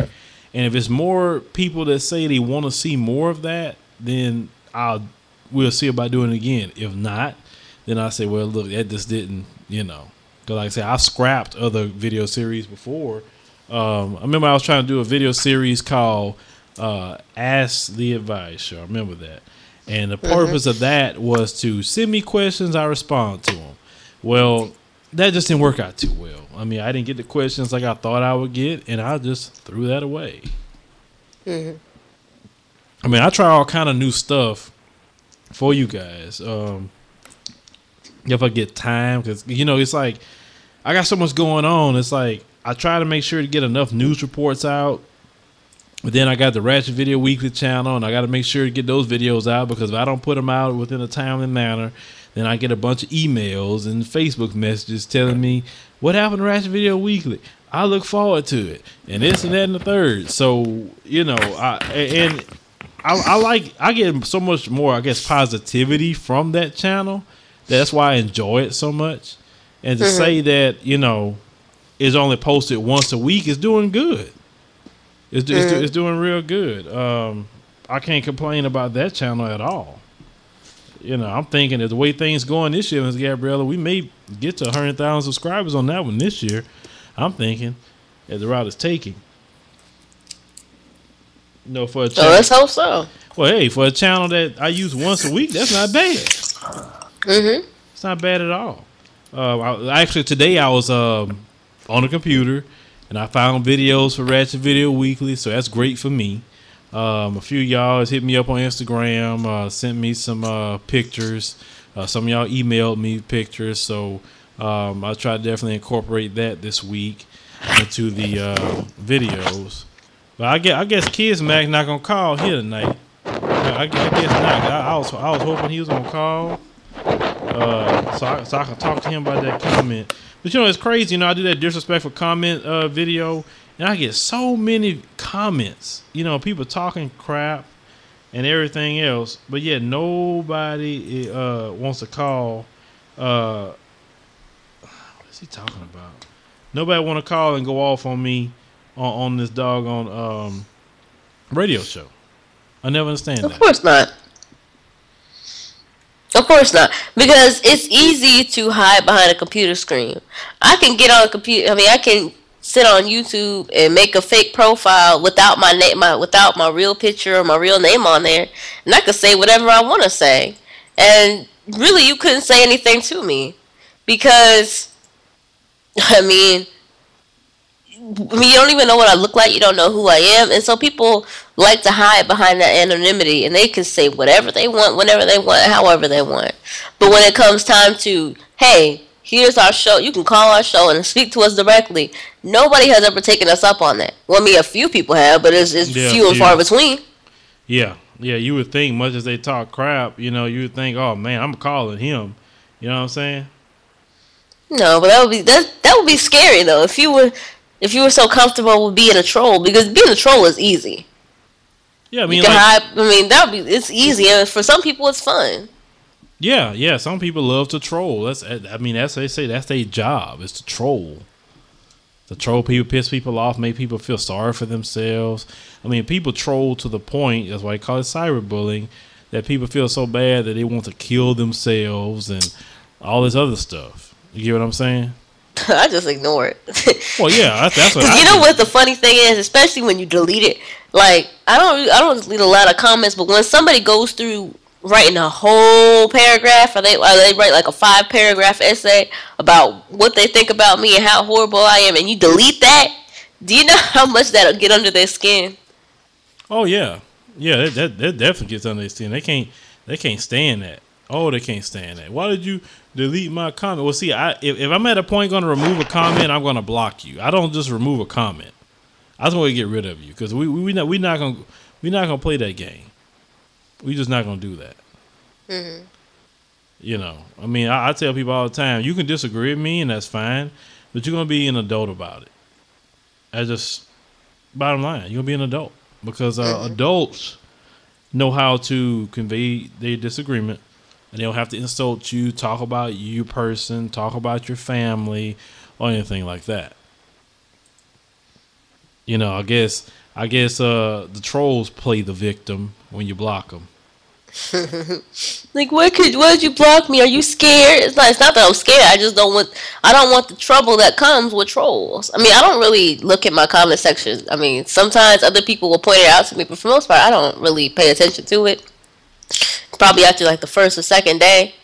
But I don't really if if something is really creating a problem. If I'm looking at my comment section and my if my notifications are blowing up because people are arguing about the issues in Palestine and my video had nothing to do with that, then I might just go ahead and delete and block it because I don't really have time for all that.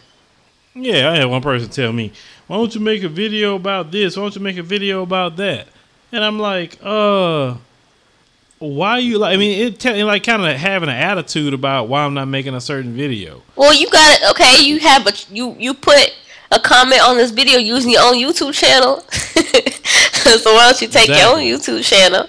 And if you have an issue with something, you make your own videos. Well, my platform isn't as big as yours. Okay, well, do you think that your platform is wasn't this, that the size that it is, is now overnight? It took some time. It took a couple years to build.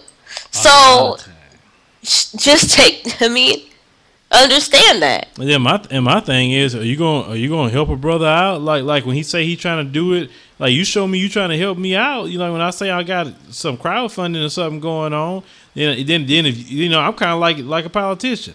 If you of the people that donated and you asked me to do a video, I'd probably be more inclined to do it. Because I say, wait a minute, they actually believe what we got going on. So if they ask me to do a news story, and it's something kind of important to them, I may be more inclined to do it because you actually trying to further what we got going on. Uh, let me see here. This person just pressed one. I guess we got 20 minutes left. Air code 832-738. You on the show. Hello? Yes. Hello, you on the show. Hey, how you doing, Phil? This uh, this is uh, my name is Reginald, and uh, I just want to say uh, it's great to have uh, a guy from Houston, Texas, you know, uh, telling the truth out there. Oh, it's, it's plenty of us out here. I'm just I'm just one I'm just one needle in a haystack. yeah, and, uh, you know, uh, this topic here that you guys are talking about, uh, uh, you know, uh, you have a lot of, uh, you know, veterans coming back from Iraq, and Mm-hmm. you know, the, these guys, you know, some of them have, you know, they're, they have missing limbs, you know, they have mental problems, and and you know, they, some of these guys are still out there working, you know, Mm-hmm. you know, and providing for their families, and uh, and uh, you know, when I see that, you know, I'm like, how? There's no excuse, you know, there's no excuses for uh, not being able to, you know, take control of our lives and and make something happen. But uh, you know, I want to ask you a question about, you know, don't you think that people who play the victim, you know, that that that's maybe a product of their environment, or you know, maybe it's just a way of thinking. Well, you know, because that way of thinking can be passed down. You know, I, well, I think about, about you, can learn like to live in a perpetual victim state if you're taught that by pe- you know the people you're around, like say your parents or your mom or whoever. If they're a victim, then they're going to teach you to be a victim, and that's where usually the when they talk about conditioning comes from. It comes from within the household. It doesn't come from society.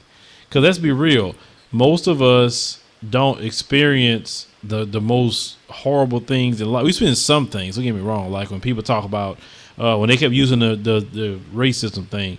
Most of us has never experienced the racism of the past. That's just true. We we've had people may not like us because of the different color of our skin, and like I said, I even tell people, even believe it or not, white people go through that. People don't like them for the color of their skin either, um, because the fact that due to the, the past or whatever. I mean, everybody goes through that, you know, in society. Um, but we can't just sit there and blame uh, other people for why we're not making it. That's just why I was saying about playing the victim. Yeah. Okay. Yeah, and, uh, and and that's true. And um, you know, actually, I was just looking up at the. Uh, you, you talk about Black Wall Street Mm-hmm. Uh, in one of your videos, and uh, you know, I was I was shocked to even know that that was that that was that actually that event actually happened. You know, and I, you know, you see these guys, you know, they were that group of people. They, you know, they're facing so much, you know, adversity in their lives, and they're still able to, you know, come up and make it. And you know, nowadays we have, you know, no excuse on why we can't succeed.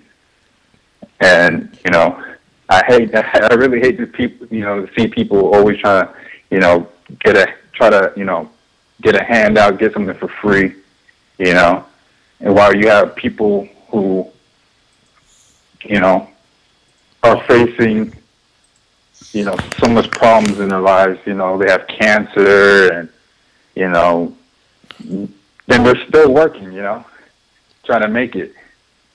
And, you know, it, that's all I wanted to say. All right, bro. Well, definitely appreciate you calling in. all right. All right. Hey, thanks for having me. Uh, Thank you. All right, Miss Gabriella. We got about what 16 minutes left on the live stream of the show.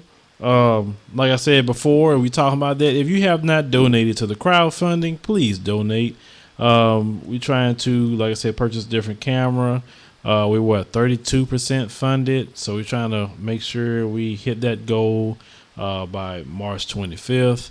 Um, after the show, once I uh, go visit the little boys' room, um, I'll uh, try to get the videos out for today, the, the news stories or whatever. Um, you know, I, I work I work very hard to try to do that for you guys. You know, and um, find these stories and taking up the time. Now I'm trying to get my partner here to eventually join that crowd. I'm talking about you, Miss Gabriella. Doing what crowd? My, the crowd of living in the studio. I mean, I wish I could have my own studio. You can. How? If you click your heels together three times. All right, well, sure. I'll click. And I'm going to ask my fairy godmother, whoever else, to, to help me get some equipment. Shoot. But, you know, it'll it'll come in time. I'm just gonna. Well, yeah, yeah, yeah. But you know You what? know. Believe it or not, it depends on what you're trying to do. I mean, if you're just trying to do like a simple setup, I mean, it's not going to cost you as much unless you're trying to go, you know, all elaborate and and you know what I'm saying. I mean, it depends on we'll your setup. see. It just depends on what happens, and depends on you know how much time I have and all that kind. of, I mean, a lot of things will play into it because I mean, I, I do want to. I still I love doing YouTube videos, but then I still have other things that I want to do Mm-hmm. um, career wise. Um, you know, I've been getting into modeling now, and I mean, I've been doing a lot of stuff outside of the internet because I don't want to. I don't want to just be just online all the time. I want to actually get out and do things. So I am trying to build my brands, you know, online and offline. You know, but like I said, in, in like you know, what Fifty Cent said, it's the truth. You know, if you're not on social media, you ain't doing nothing. You know, it, it's it's everything has to integrate into that. Unfortunately, because I was listening to uh you know Jamie Foxx and him talk about that on Foxhole the other day, uh on XM or Channel 96, I think, and you know, it was talking about how you can't get away with nothing no more because of social media. You know, even though it's a great help, but it's like people will remember everything you do. You know, if you have, like you say, a wardrobe malfunction, uh, your kids did something in the restaurant, say no matter what it is, people take a picture and never forget it. Mm-hmm. That's the only thing that I would have an issue with. It's like I wouldn't care because I think about that sometimes. What if something happens and then I'm really recognizable all of a sudden? You know what I'm saying? Like some, you know, some of these people from YouTube, they're really recognizable. Like, how would I deal with that? Because like, I don't care if somebody say recognize me, but I don't like people recognizing me out. You know, and I'm with my kids or with my whole family. You know, because I'm kind of like, well, I mean, it's, it's bound to happen. yeah, it's bound to happen. I, I know it's bound to happen. Well, You're just like, gonna well, have to take it. and- well, it did happen. What I'm saying, bound to happen. It did happen before. But I'm just saying that you know, it just. I always say I, that's why I guess I try to, uh, even though I say a whole lot of stuff, I still try to be respectful as possible. Because for the fact that you know, you never know you out here and you don't want to stir up the crazies at times, but you still want to tell the truth. But it's just the way you do it, you deliver it. Yeah, it's not what you say; it's about how you say it, and you know, it, it, a lot of things play into that. I mean, there's always going to be somebody who disagrees with your opinion. Oh, of course. But if you, but it just depends on how you word things. Like if you sitting there and you constantly just trying to say stuff for shock value, or you always trying to create a lot of controversy just so you can get views, that kind of stuff will blow right up in your face. Like yeah, you get a lot of attention for a little while, but then you start once you step on too many people's toes, then you create a lot of problems for yourself. Mm-hmm. Don't we know that? Let me see something real quick while we got 12 minutes. Air code 44, you on the show. Hey, hello. Yeah, what's going on? How you doing? It's Brandon. Um, who were y'all talking about tonight? I just listened in. Uh, well, at the beginning, uh, well, most so we was talking about playing the victim. Uh, why it's counterproductive to uh, progress. Oh, okay. Well, I'll take one of these. Is like everybody is responsible for their own. I'm gonna take a page out of Oprah's book. I don't really do this, but she was right when she said you're responsible for your own life. Nobody can expect anybody to give you anything or take care of you. You're responsible for your mm-hmm. own life and your own stuff. But you got a mm-hmm. lot of people who play the victims and expect them to hand them stuff, give them free stuff, and you know, pat them on the back and feel sorry for them. Doesn't work. I've tried that. It doesn't work. No, it doesn't work. It doesn't work at all. I mean, I mean, at the end of the day, you grown. You got you got to fend for yourself. Ain't nobody gonna worry about you out here like that. hmm But you know, some people they grown, but they haven't grown up yet. They that's grown true, in age, but Yeah, matured hasn't matured. yeah. Sometimes wish people's maturity level will grow with their body, but it obviously it doesn't happen that way. You know, worst thing I've ever yeah, seen. I was the one that. Uh, Go ahead. Yeah, I was the one that Facebook Juice said I was going to do a response video on one of your last videos that you did like a few days ago.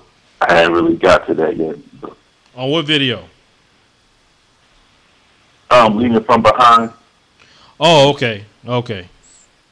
Yeah, so yeah. Mm, okay.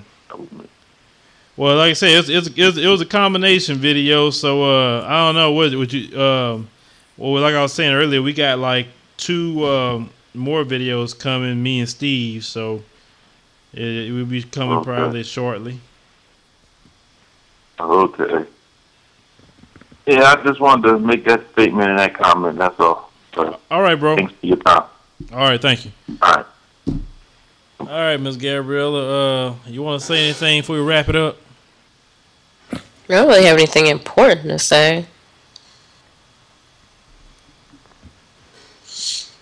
I mean, I don't. I usually will have something, but not today. We'll other than say check she- me out on YouTube and all that, and the links will be played after the show. You know, we haven't even played them. You know, we haven't played that junk in, in a minute. We ha- actually haven't done that. Now I think about it, because every time we we always going toward the end talking, you know, and uh so we just a lot of times I said, man, I ain't got time to play that, so I don't even play it. But anyway, um, like I said, after the show, as I stated earlier, I put the videos up. Um, like I say, support support what we got going on if you can. Support the brother, support the sister. Um, with time, I say this is something that I discussed with Miss Gabriella. I do want to add someone else to the radio show, um, but I, I'll explain what that's about. And um, I know some of you probably gonna. I don't know if they're gonna have some sort of way about that. I don't know, Miss Gabriella, because I, I stated that I want the show to grow into uh, kind of having everybody on the show, like everybody diff- different, you know, groups, and having their opinions. Uh, because you know, like Miss Gabriella may see things one way as a as a lady. I may see one thing as a man. Um, you know, but we both African American, and we view things probably from that point of view. But other groups may view things at other points of view, and sometimes it's good to bring uh, a discussion where everybody's involved. You know, at least that's what I want to do at the end of the day. Um, yeah, I think that's a good idea, at least. Mhm. I mean, it would be nice to have something from everybody else's perspective because we don't all see things the same way. Um, I really wish that we would have somebody who will be willing to come on every week. Well, you know, I have I, ha- I haven't put it out there like that. Um, you know, like I say, I. But my thing is, the moment I put it out there like that, then like I said, um, you know how it goes. You, eventually, they join the show, then they actually join the team and all that other stuff. So, um, I got to figure out a process, Ms. Gabrielle, on how we gonna do that. Um, you know, do we want? We have auditions. we have a lady. We get a lady, get a guy. I don't know, or just the best one out the bunch. You know, we're just trying to figure that out. But you know, like I'll just put it up front. I would like to, you know, get a white person uh, on board, a Hispanic person also, if I can, an Asian person, um, Arab person, if I can. Eventually, that's what I want to do. I want to add because that way I can get everybody's perspective. But of course, that person has to, you know, kind of agree with the core message. I'm not saying agree with just what I say, but just the core message of what we have going on. Because you can't have someone anti your core message. I mean, it's just not going to work. You know, Mhm. it's like you don't see uh, MSNBC putting on a Bill O'Reilly on their channel. You know, somebody that's real opposite of them. You know, so Mhm. But everybody have differences of opinions, of course. So I'm I'm probably gonna put that out there, probably on Facebook uh, or so. Just type it and let's kind of see what kind of response we get. And me and Miss Gabriella come up with the ways that we can do that. And also I announce it probably in a YouTube video as well. I'm pretty, and I know when I announce that to some of you, I, you probably say I'm cooning for doing that too, but forget y'all because that's well, why- for wanting to have more than one perspective, okay, we'll be coons then. yeah, you I'll know, take we'll, that too. We'll, we'll be coons. You know how that goes. So um, we all about growth and progress, And one thing we're not, we don't hate nobody, even though we talk about issues in the community. And also, it would open us up to talk about issues in other people's communities, which I have no issue talking about that. And a lot of issues in other people's communities uh, are the same. Hey, you know, you know that's pretty good because uh, my wife was volunteering. I said that's pretty good. Well, she could do it. Yeah, she could. yeah, she was volunteering. Yeah, she sure could. You know, but shoot, she volunteered. I mean, I'm about to buy her a microphone. That's all right. I got enough XLR ports here uh, to talk about different things. So you know, I got what six more ports, so I'm good. No, five more actually. So we we will look into that, and um, so just make sure you look at that's coming shortly. So uh, we're gonna go ahead and head on out, and uh, we'll probably see you guys next week. Check out the YouTube channels.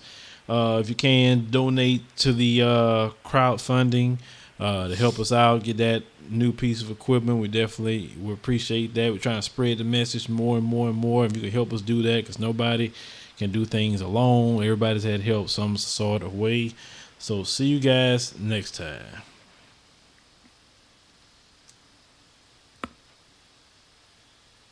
Thank you for using Blog Talk Radio. Goodbye.